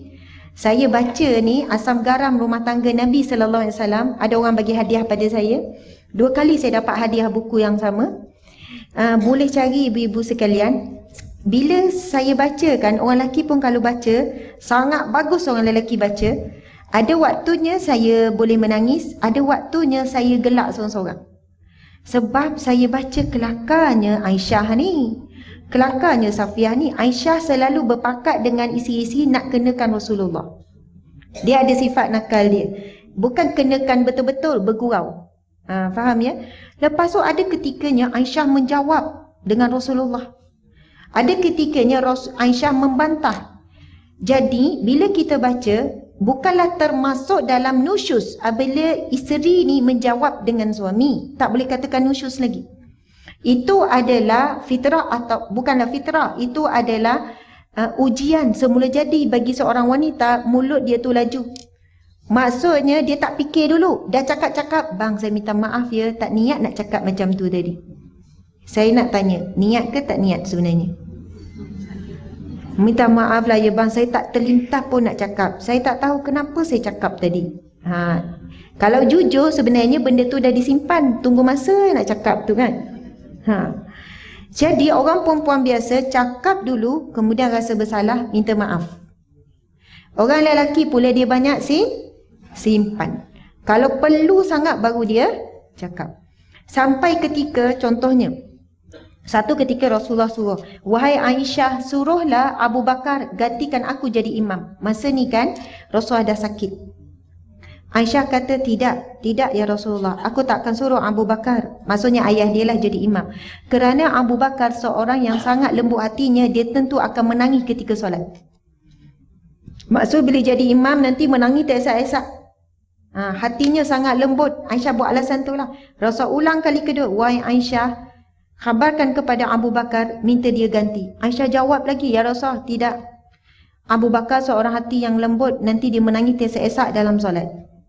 Sampailah kali ketiga Rasul kata, kamu ni, Ummahatul Mu'minat, tak ubah seperti isteri, uh, isteri, adalah Rasul buat perbandingan dengan isteri-isteri Nabi yang lain, isteri yang suka menjawab, suka membantah. Ha. Uh, Rasulullah pun sendiri keluar dalam keadaan susah payah pergi sampaikan kepada Abu Bakar. Sebenarnya Aisyah pun menceritakan, aku memang tak Rasul Aisyah kata aku memang tidak, saya memang tidak sanggup untuk memberitahu ayahnya untuk menggantikan Rasulullah sebab saya sudah tahu semua orang takkan suka, semua akan bersedih. Maksudnya semua akan menangis nanti bila solat sebab membayangkan Rasulullah dah semakin tenat. Ha, subhanallah. Jadi banyak lagi kisah-kisah dalam ni membuatkan kita tengok ya Allah Rasulullah sabarnya dengan Aisyah, sabarnya dengan komplot-komplot isteri. Ha. Dan itu tak pernah pun Rasul kata itu satu sifat kedurhakaan dan sebagainya. Okey. Baiklah. Ha, Ustazah banyak dah pusing-pusing tu. Masa dah nak habis. Tajuk kita pada hari ini ialah Okay. Alhamdulillah berjaya juga sebab saya dapat tajuk ni saya dah saya bimbang. Nak kupas apalah. Tapi alhamdulillah kita mukadimah tu panjang kan tajuk 10 minit. Ha. Pertama, pasal balik rumah suami ataupun isteri. Okey. Uh, yang normal orang buat adalah bergilir. Betul atau tidak? Tahun ni rumah uh, suami, tahun ni rumah isteri. Itu normal bergilir. Bergilir pula ada dua jenis. Pertama, bergilir tahun. Kalau rumah jauh betul-betul. Tahun ni raya Kedah. Tahun depan raya Johor. Kan ujung-ujung dunia tu kan? Sesama ujung dunia. Okey, jadi kalau nak kalau nak dua-dua dapat nanti beraya tengah-tengah kat Kuala Lumpur. Jam, betul kan? Jadi dia bergilir tahun. Okeylah. Alhamdulillah kalau suami isteri bertoleransi. Kalau macam saya pula sama-sama Tengganu. Saya duduk Kuala Tengganu, suami saya besut, beza sejam setengah gitu. Satu hari kena belah dua dah. Ha, sini separuh, sini. Sampai sana esok orang sini pula panggil. Contoh. Dalam tempoh ni mesti ada penat, ada konflik, ada macam-macam lah. Yang ni mak pun kata balik lah, ni ada ni ni, esok ni ni, kebetulan ni. Yang ni pun kata, eh esok ada kenduri belah sini. Kita dah tersepit, betul atau tidak? Macam-macam kisah. Dan kalau pengalaman saya handle, contoh, ada yang 15 tahun tak balik rumah isteri. Suami guna kuasa mandatory. Eh, mandatory? Uh, uh, kuasa veto. Istilahnya kena taat perintah suami. Suami pula kena taat perintah ibu. Faham tak? Mak ayah dia. Sebab suami ketaatannya pada orang tua. Pada orang tua dia, nombor satu. Isi pula ketaatan dia lepas nikah dengan suami. Beberapa kes saya akhirnya bercerai. Bercerai. Ada peringkat suami ni dia guna kuasa veto dia ni dan kuasa ni sebenarnya amanah ni siapa yang bagi sebenarnya? Al ialah Allah yang bagi. Nak sebut kuasa bila Allah bagi kena jalankan dengan amanah. Itu bukan amanah tu. Itu bukan amanah tu. Itu salah guna ku kuasa. Itu salah guna kuasa. Sebab apa? Minta maaf orang lelaki. Apa ni ustazah ni kan? Jangan sesat ke apa ni. Baiklah, antara tanggungjawab. Kalau nak baca kitab ni, tanggungjawab suami antaranya adalah menjaga hubungan silaturahim dengan keluarga isteri. Apabila suami bertindak sampai memutuskan hubungan silaturahim, maka ia termasuk dalam kategori suami yang nusyus.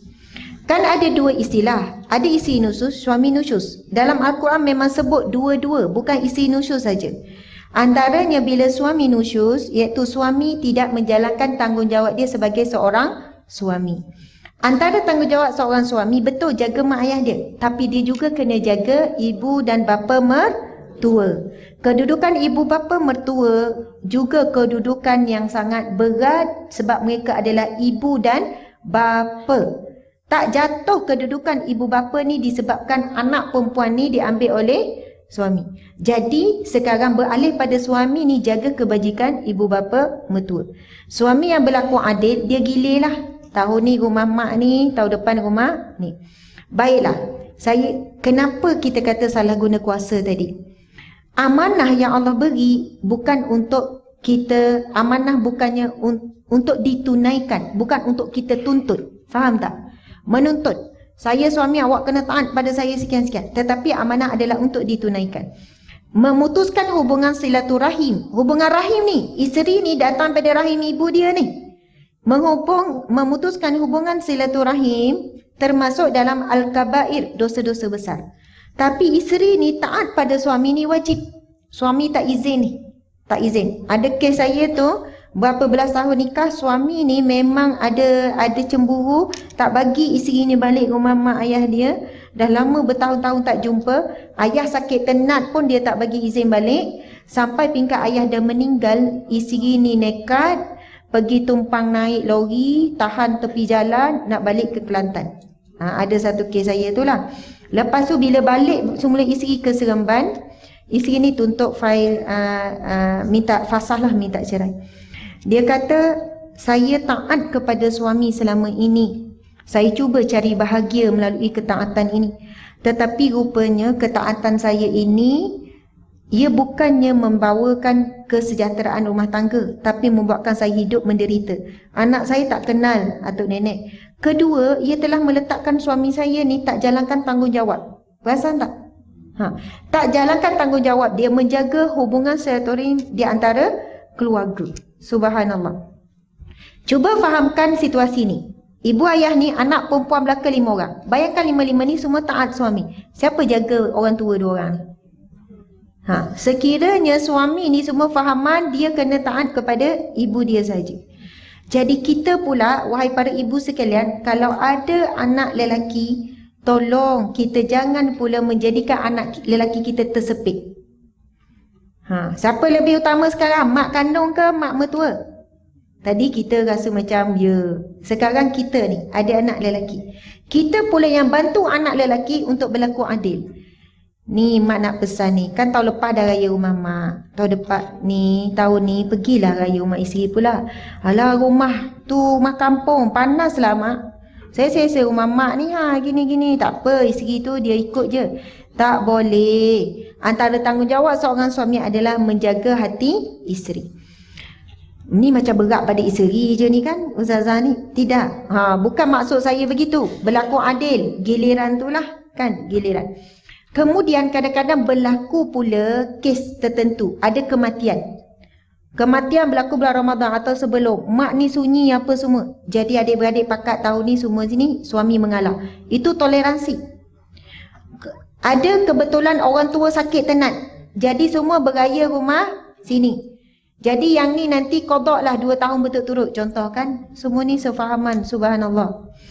Jadi memang kalau ikut syariatnya seorang lelaki ketaatan lebih utama adalah ibu ayah dia.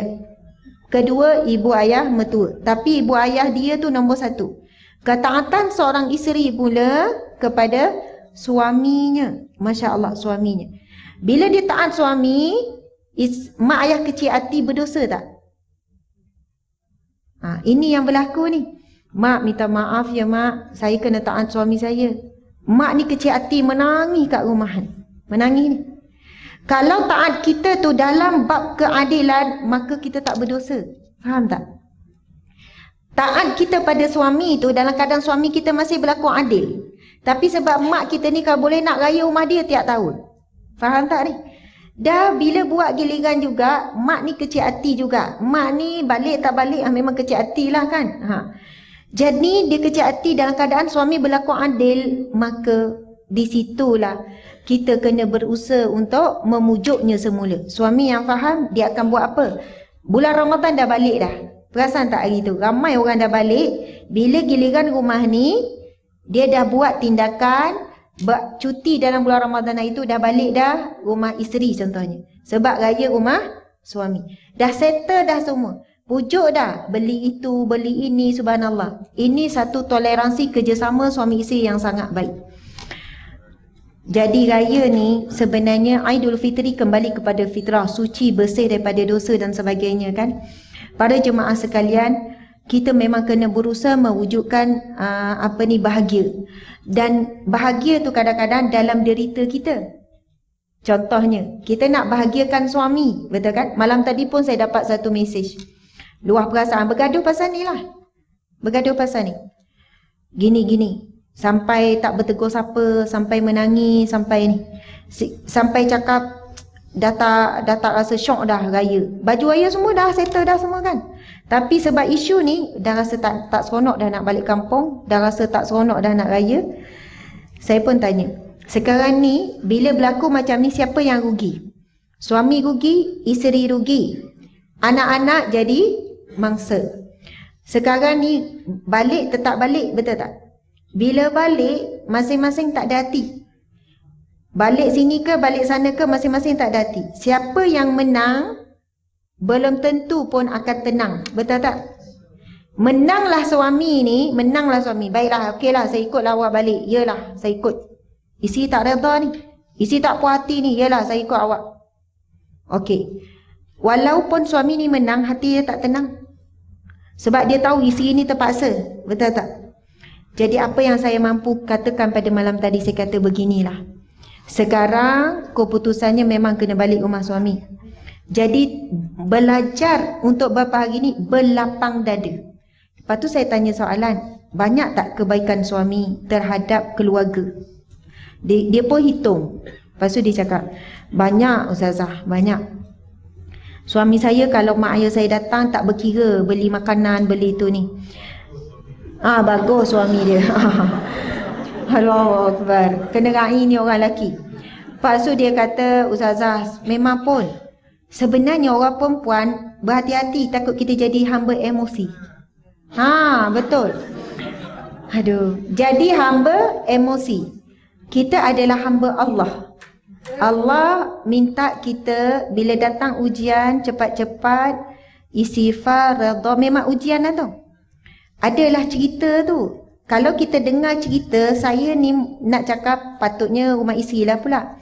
Lepas tu dia sebut kebaikan suami satu-satu. Saya kata, subhanallah puan, suami puan sangat baik. Tiba-tiba dia kata, Ustazah hati saya dah sejuk lah. Suami saya baik lah Ustazah. Apa salahnya? Saya bahagiakan dia. Ha. Aduh lah bersungguh. Apa salahnya saya bahagiakan dia untuk kali ni. Masya Allah. Saya betul-betul redha. Saya betul-betul maafkan. Sebab sekarang ni, dah jadi bergaduh ni, uh, suami dah balik dulu dah ni. Ha. Suami dah balik dulu dah ni. Ha, dia duduk kat ni ni. Lepas tu, dalam bercakap tu, dalam dia duduk kumpul kebaikan suami tu, dia kata gini-gini, dia kata Ustazah, saya dah mesej dah suami, minta maaf apa semua. Betul lah Ustazah, bila saya buat macam ni, lebur rasa tadi saya menangis, saya marah-marah apa semua. Lepas tu tengah mengandung pula, saya rasa macam lebur. InsyaAllah Ustazah, bila suami saya bahagia, saya pun akan bahagia. Tapi kalau dia tetap juga balik dengan masa muka, dia pun tak bahagia, suami pun tak bahagia. Anak lagi lah, asyik, asyik jadi bahan untuk marah je. Sekarang keputusan dah dibuat, pilihan yang ada adalah belajar redha dan berlapan dada dan gembirakanlah hati kita di hari yang sepatutnya kita memang berbahagia. Jadi fokuslah. Fokus kepada nak masak apa bang? Okey bang gini gini gini. Nikmatilah keadaan yang Allah dah takdirkan pada kita untuk raya kali ini. Ya. Ha ni tuan haji yang dicari-cari. Ha ya. Kenapa datang lambat ke tuan haji? Ya. Ya. Oh siapkan kerja rumah dulu. Basuh baju semua. Ya Allah suami calon suami soleh ni. Okey, pasal Allahu akbar empat isteri okey lepas tu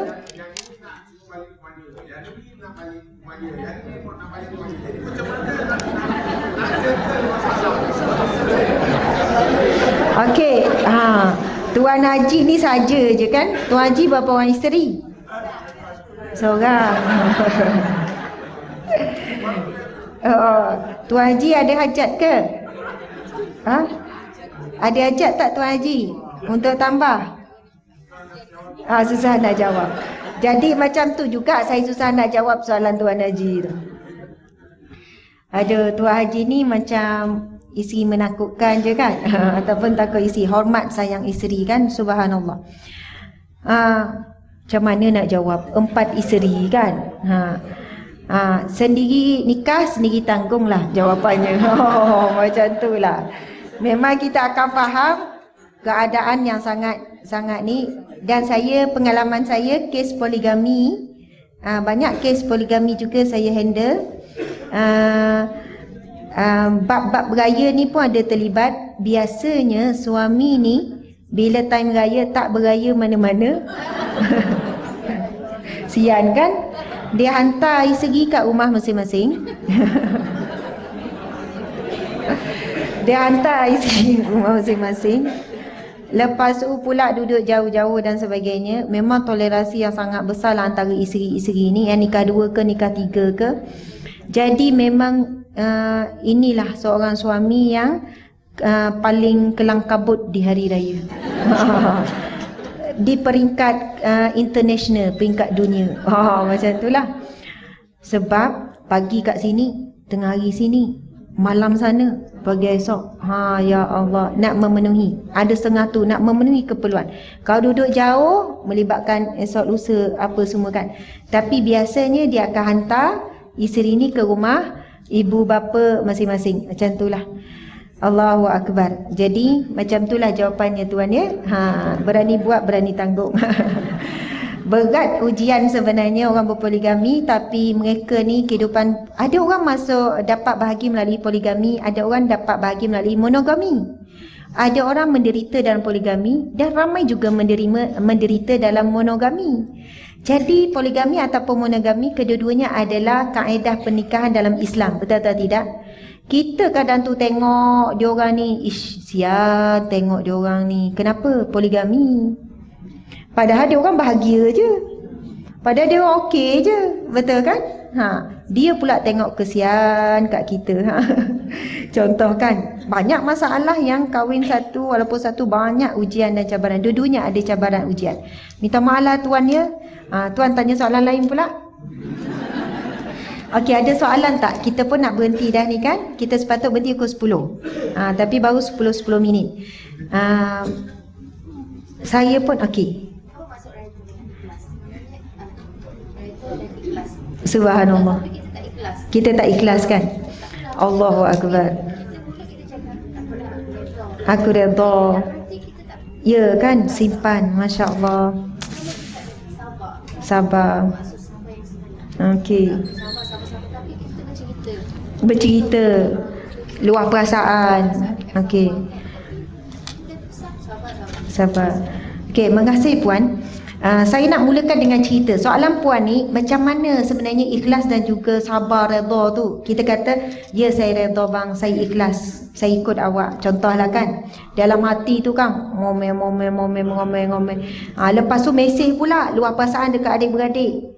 Ha, minta maaf lah saya tak ada pilihan terpaksa redha terpaksa ikut suami. Depan suami ya saya saya redha ban insyaallah. Ha kan? Suami pun jawab syurgalah bagimu. Oh macam tu kan?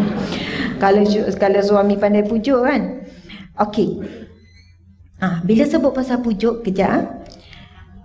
kalau dah setuju dah balik raya tahun ini peranan yang seorang lagi yang seronok ni balik rumah dia ni dia memang kena mainkan peranan menggembirakan hati ni. Sebab walaupun muka tu nampak happy tapi dalam hati tetap nak balik rumah sendiri. Betul kan? Mesti bila tengok gambar dalam WhatsApp tu nanti adik-beradik share gambar air raya, mesti terasa. Jadi di sini yang akan mudah sensitif adalah orang yang tak balik beraya rumah dia. Jadi peranan besar di sini adalah orang yang beraya kat rumah dia tu lah. Tapi kadang terbalik, bila yang ni buat muka, kenapa buat muka tak ikhlas ke? Subhanallah. Yang ni, suami ni kena bantu sampai isteri ni boleh gembira. Sampai ikhlas. Terima kasih ya awak sanggup korbankan. Saya tahu awak nak sangat. Isteri dengar yang tu pun dah seronok dah saya nak bagi tahu. Sebab isteri ni cukup kalau suami dia faham dia sedang ada rasa sedih sebab tak boleh bersama dengan keluarga dia. Walaupun dia tak boleh bersama tapi sebab suami tunjuk rasa faham, itu dah membahagiakan dah. Tapi kalau suami buat ayat, awak ni kenapa tak boleh ke buat macam rumah sendiri? Macam awak buat kat ni, awak kalau kau mahu kamu happy. Jangan sebut ayat-ayat sensitif tu. Ha, ayat sentap tu, betul kan? Ha. Jadi kita yang tengah gembira ni, bantulah untuk gembirakan pasangan kita yang kita tahu dia tak akan sama gembira dengan kita yang sama berada di rumah ni. Layan dia lebih lagi. Contoh, time ni rumah kita kan? Bagi perhatian lebih pada suami. Ha, walau janganlah pula kita kenapa senyum macam tak manis sangat. Hmm, tak bersemut pun saya nampak. Ha. Jadi layan dia lebih. Bang makan ya. Awak ada apa-apa yang cakap saya? Awak pernah ke tak apalah awak rehat. Maksudnya bagi perhatian lebih sampai dia akan rasa terlupa kesedihan dia nak bersama dengan keluarga. Ini peranan yang sangat penting. Subhanallah. Jangan nambahkan cedera emosi dia. Emosi dia tengah tercedera, tambah lagi cedera emosi. Cubalah dengan kasih sayang insya-Allah. Orang lelaki dia lebih perlukan peng, pengiktirafan sebagai seorang suami. Penghormatan. Orang perempuan dia lebih perlukan kasih sayang, perhatian. Ha, faham kan? Jadi orang lelaki bila diberi penghormatan, kemuliaan, dia ada rasa sifat kelakian tu. Ha, sifat kesuamian tu. Isteri pula lebih kepada perhatian, kasih sayang, uh, perasaan. Ha, saya faham awak apa yang awak rasa. Awak sedih kan? Ha, cukuplah tu. Isteri dah seronok dah tu. Ha. Okey. Jadi Uh, kisah satu ketika Rasulullah sallallahu alaihi wasallam melihat melihat ada seorang wanita yang sedang menangis di kubur kematian anak dia. Lalu Rasulullah pun menegur, "Wahai uh, uh, Rasulullah tegur wanita tersebut, bersabarlah bagi kamu syurga." Macam itulah Rasul sebutkan, bersabarlah. Lalu perempuan ni pun tanpa melihat siapa yang berkata. Dia tak tahu Rasulullah yang cakap.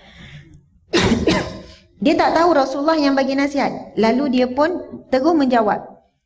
Ayat tu macam ayat kita lah. Uh, kamu senanglah nak cakap ayat tu soalannya begitu mafhum.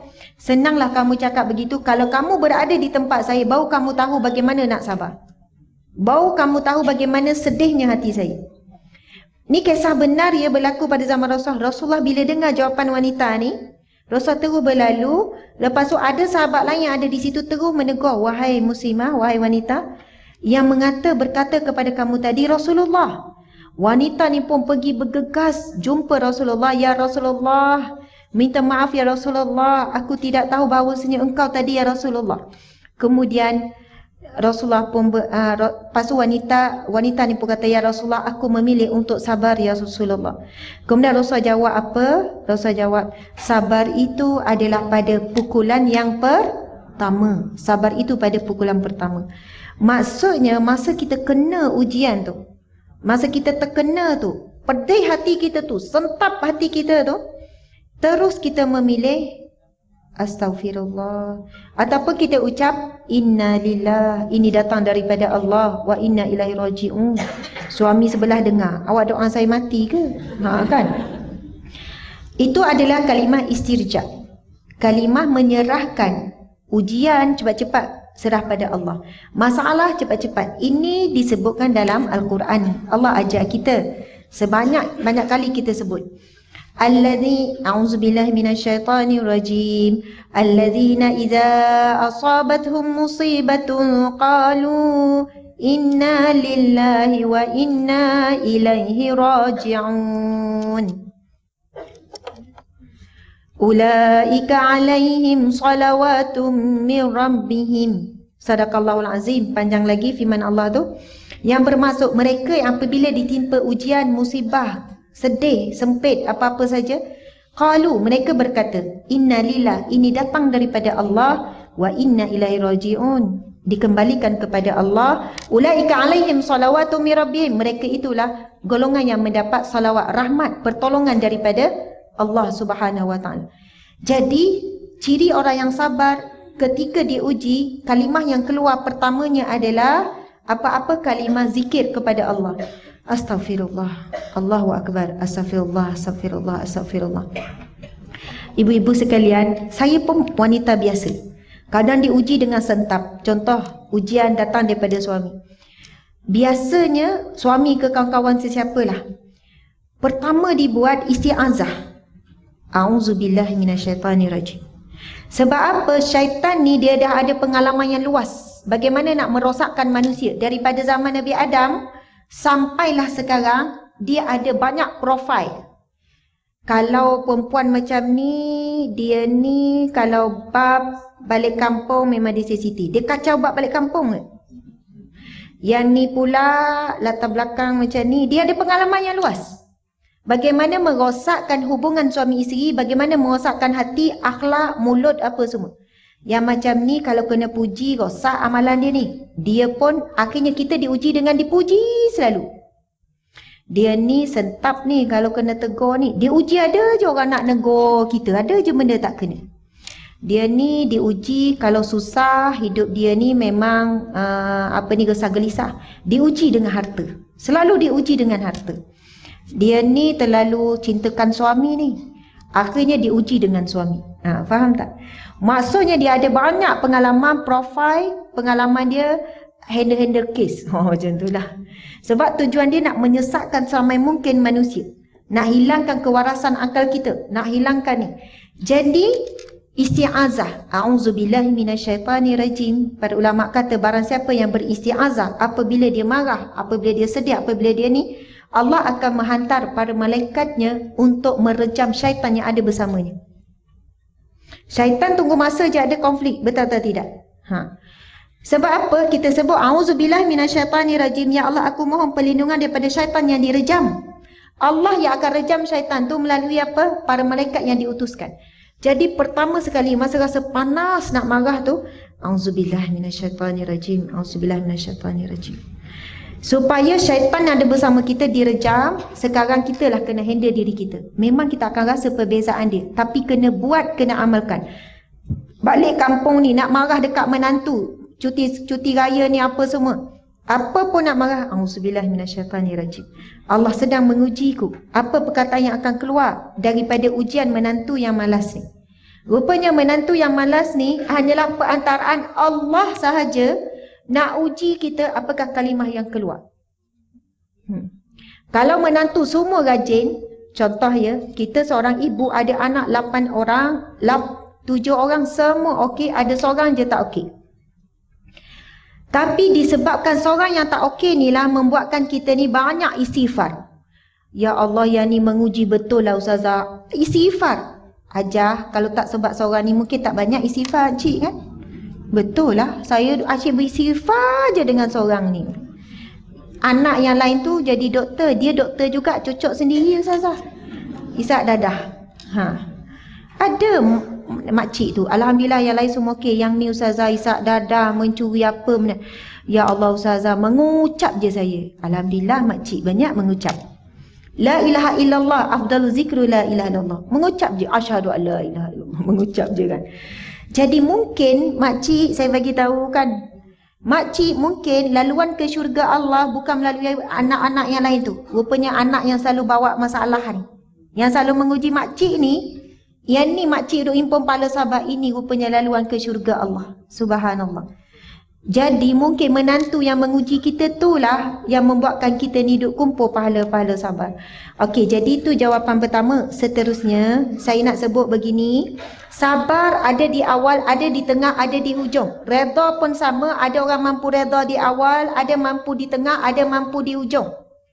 Ikhlas pun sama. Masya Allah. Masa nak ulur duit, tabung bergerak tu kan? Ha, memang tak tak bercadang pun nak bagi. Tapi dah orang tengok semua tu kan. Takkan nak senyum je. Takkan nak sedekah senyum je kat tabung tu kan. Senyum. Dah semua orang dah nampak. Jadi dia pun keluarkanlah. Bila buka beg duit, tak ada duit kecil pula. Dia ikhlas singgit je. Ha, tapi tiba-tiba sepuluh ringgit. Lagi payah nak ikhlas tu kan.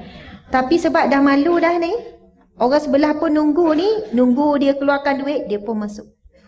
Tak ikhlas lagi, tak ikhlas lagi. Subhanallah. Ha, lepas tu gerak. Tak datang lagi ikhlas lagi tu. Bila keluar, ada orang bagi makanan. Contoh. Subhanallah, RM10 je aku bagi tadi. Orang bagi makanan banyak. Ya Allah, Alhamdulillah aku ikhlas. Ikhlas dah tengah. Masa tadi tak ikhlas. Ha, subhanallah. Baru ikhlas bila nampak ada ganjaran. Subhanallah. Ada orang tak ikhlas lagi masa ni ni. Lepas sebulan baru ikhlas. Dia datang ceramah dengan pasal sedekah. Ya Allah, rupanya Allah paksa aku hari tu sedekah. Memang kadang-kadang ikhlas ni datang lambat. Redha pun sama datang lambat. Orang yang paling kuat datang di awal tu. Itu orang hebatlah mukhlisin alauddin, orang yang redha, orang sabar. Susah. Normal kita ikhlas tu datang tengah-tengah.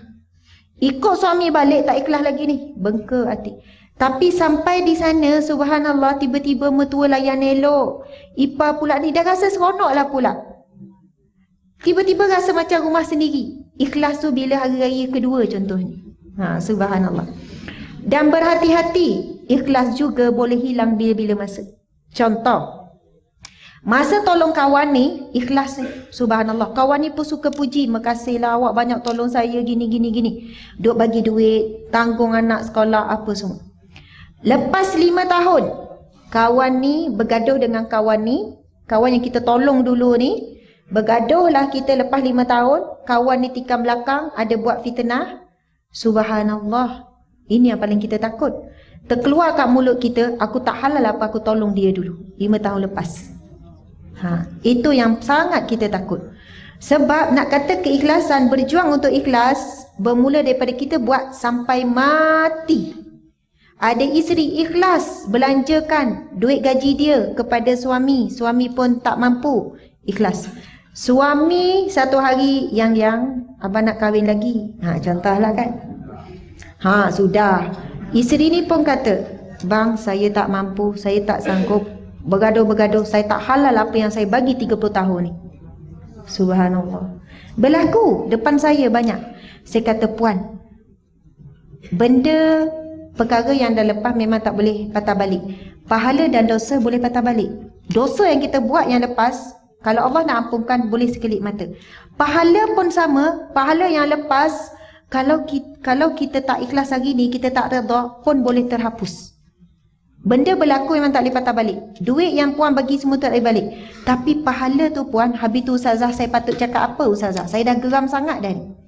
Puan, puan katakan begini, Ya Allah, aku redha dengan apa yang telah aku berikan selama ni, jadikan ia sebagai satu sedekah. Allahu Akbar, 30 tahun puan sedekah. Ya Allah, aku tak redha dengan apa yang suami nak buat hari ni. Contohlah ya. Sebab kita tak boleh nak suruh paksa puan kena redha hari ni. Orang selalu tanya, kalau ustazah macam mana? Selalu orang suka tanya, Ustazah, Ustazah kalau berada di tempat saya macam mana? Oh, jangan tanya soalan tu, betul tak? Kita tak boleh paksa untuk reda untuk perkara yang sedang berlaku. Tapi perkara yang lepas, kita bantu dia sebab puan telah pun menghimpun pahala sedekah selama 30 tahun. Jadi betul, ikhlas, reda, sabar akan diuji sampai mati. Kita ikhlas dulu tolong adik-beradik, tiba-tiba adik ni time kita susah tak nak tolong, kita boleh ungkit balik. Betul tak? Jadi, Ya Allah, aku reda dengan apa yang aku dah buat pada adikku dulu. Tapi aku tak reda dengan apa yang dia buat pada aku hari ini. Contohlah kan. Kita mengadu rasa sedih kita kepada Allah. Itu tak ada masalah. Masya Allah. Mudah-mudahan boleh membantu sikit. Ha. Jadi kita mudah-mudahan kita kal, jangan jadi orang yang rugi terus. Sampailah balik ke rumah. Tak ikhlas-ikhlas lagi balik kampung suami tu. Faham tak? Dah hari kedua, ketiga dah balik rumah semula. Tak ikhlas lagi. Jadi carilah keikhlasan itu pada kurang-kurangnya pada pertengahan. Takut terlambat sia-sia saja yang kita duduk masak, basuh pinggan, duduk menahan muka, buat-buat senyum sia-sia saja. Sedangkan 3 4 hari tu duduk rumah suami tu dapat pa pahala. Subhanallah. Alhamdulillah. Ah, okey, satu saat lagi. Ah, akhir insya-Allah. harta pencarian. Harta pencarian. Sama ada kalau rumah tu berkongsi dan apa juga uh, barang-barang rumah yang dibayar oleh isteri. Ha. Yang tak semua sebagai harta pencarian. Okey, saya jawab secara ringkas ya. Ramai rasa gelisah tu ya. Banyak kerja kan nak buat kat rumah? Ha, tak ada bila balik tak buat pun kerja tu. baca surah Al-Kahfi. Subhanallah. Oh, semua ni akan baca surah Al-Kahfi pula. Oh, Okey, subhanallah alhamdulillah. Uh, puan ni tanya pasal harta sepercarian. Harta sepercarian sebenarnya boleh dituntut bukan selepas berpisah saja. Antara golongan yang boleh tuntut harta sepercarian adalah poligami. Contoh, bila suami nak nikah lain, isteri dah boleh buat tuntutan harta sepencarian. Bukan tunggu berpisah saja. Ha, boleh tengok, memang ada enakmen ni, memang ada peraturan ni. Ustazah ni kan, ha, bukan sebab anti poligami atau tidak, nak jaga kebajikan isteri, Pertama sebab kebanyakannya isteri dia tak puas hati, kita susah payah 20 tahun. Sampai kita dah hidup selesa, dah miliki harta aset ni. Tiba-tiba datang orang baru, sama-sama maksudnya dia tak melalui susah payah macam kita. Islam ni agama yang adil. Isteri ni boleh tuntut harta sepencarian sebaik saja apabila suami menyatakan hasrat ni, jadi isteri terus dapat bahagian dia. Ha. Jadi tak timbul isu memang sama soalannya di situ ada jalan penyelesaian sikitlah mengubat sikit duka dan kebimbangan isteri. Ha okey ya tuan Haji belakang? Okey. Ha jadi bincang elok-elok tuan Haji. Okey. Eh, sekejap tak habis lagi sikit lagi minta maaf. Yang kedua, pasal harta sepercarian. Contoh. Suami seorang je ni uh, bekerja. Nama rumah suami, nama kereta suami, nama tanah suami, semua nama suami. Bila berlaku pergaduhan, contoh nikah poligami tadi, ataupun berlaku penceraian, contoh, isteri boleh tuntut harta sepencarian. Kebanyakan isteri dapat setengah daripada harta, kebanyakan. Suami ni kata, isteri saya tak bekerja. Isteri tak ada keluar duit satu sen pun dalam rumah ni, tak keluar satu sen pun dalam kereta ni. Tetapi isteri ini Selama mana dia bernikah ni, siapa yang menguruskan makan minum pakai, yang uruskan anak, yang uruskan encik sampai encik boleh kerja dengan baik, bagi tumpuan kerja dengan baik, yang bersusah payah dengan encik sama ini, yang berke, berbakti pada encik dan sebagainya, maka disebabkan inilah isteri ini berhak walaupun dia tak ada menyumbang satu sen pun. Sebab kalau tanpa peranan isteri ni, suami tak boleh bekerja dengan baik. Ha, jadi di situlah harta sepercarian. Islam ni agama menjaga kedua-dua kedua-dua ni. Kedua-dua pihak. Ha, subhanallah. Okey, puan kat belakang.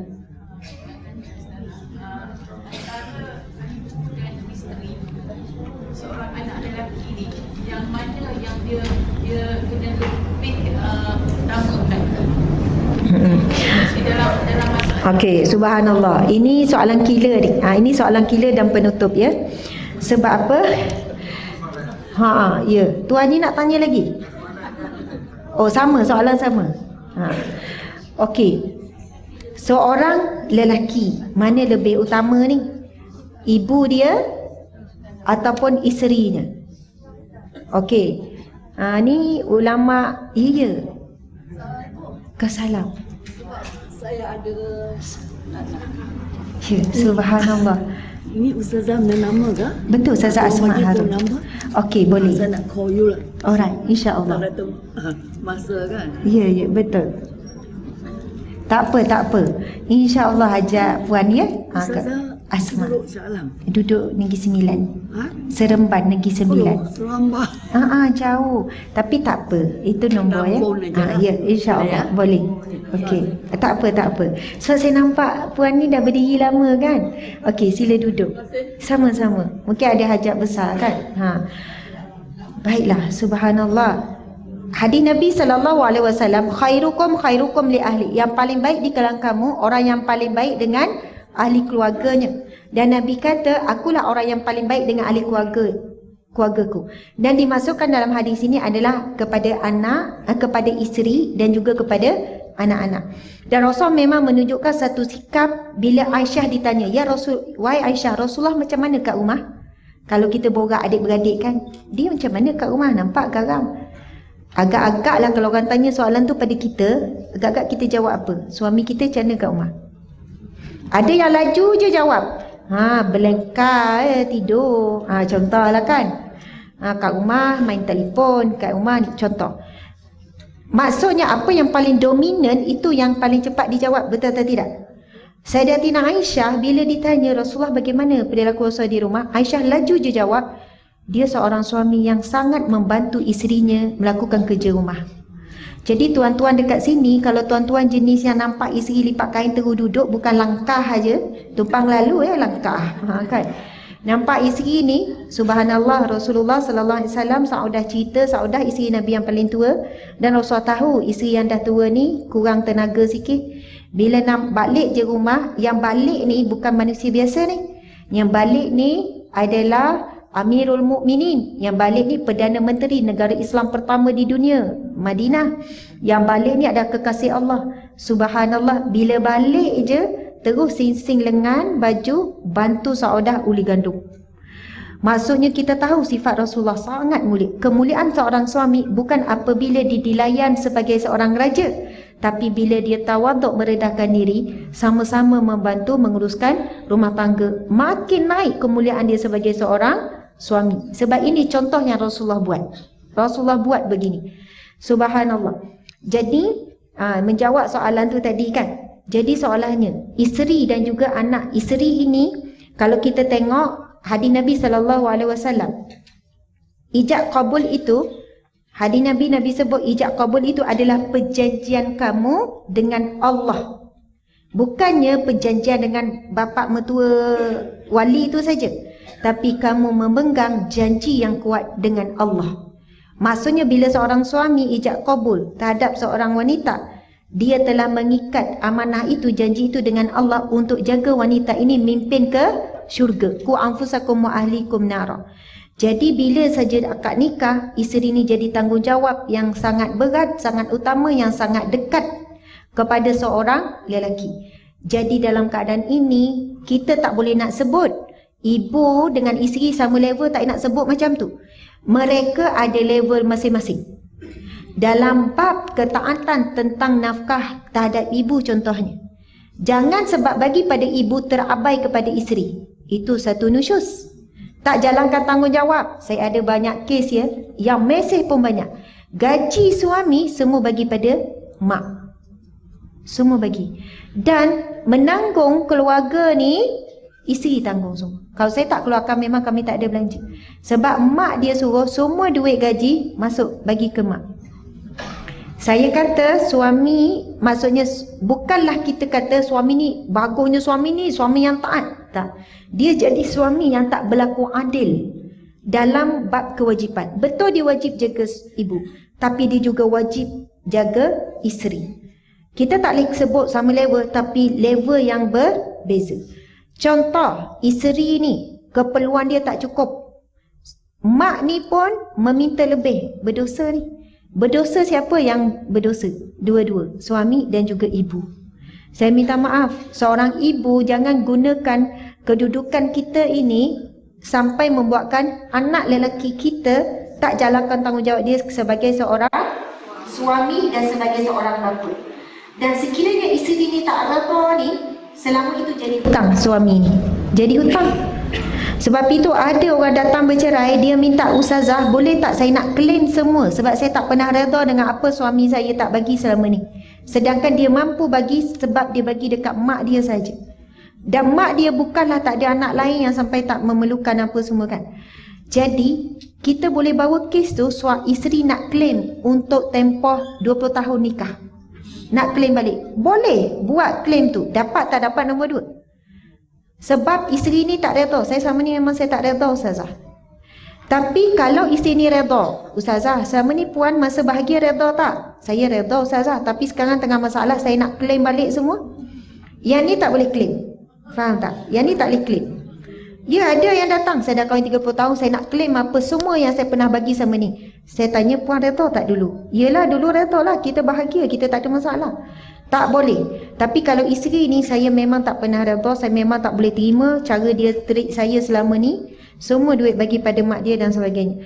Jadi sebagai seorang lelaki, anda bertanggungjawab kepada ibu, pada isteri dan adik-adik perempuan.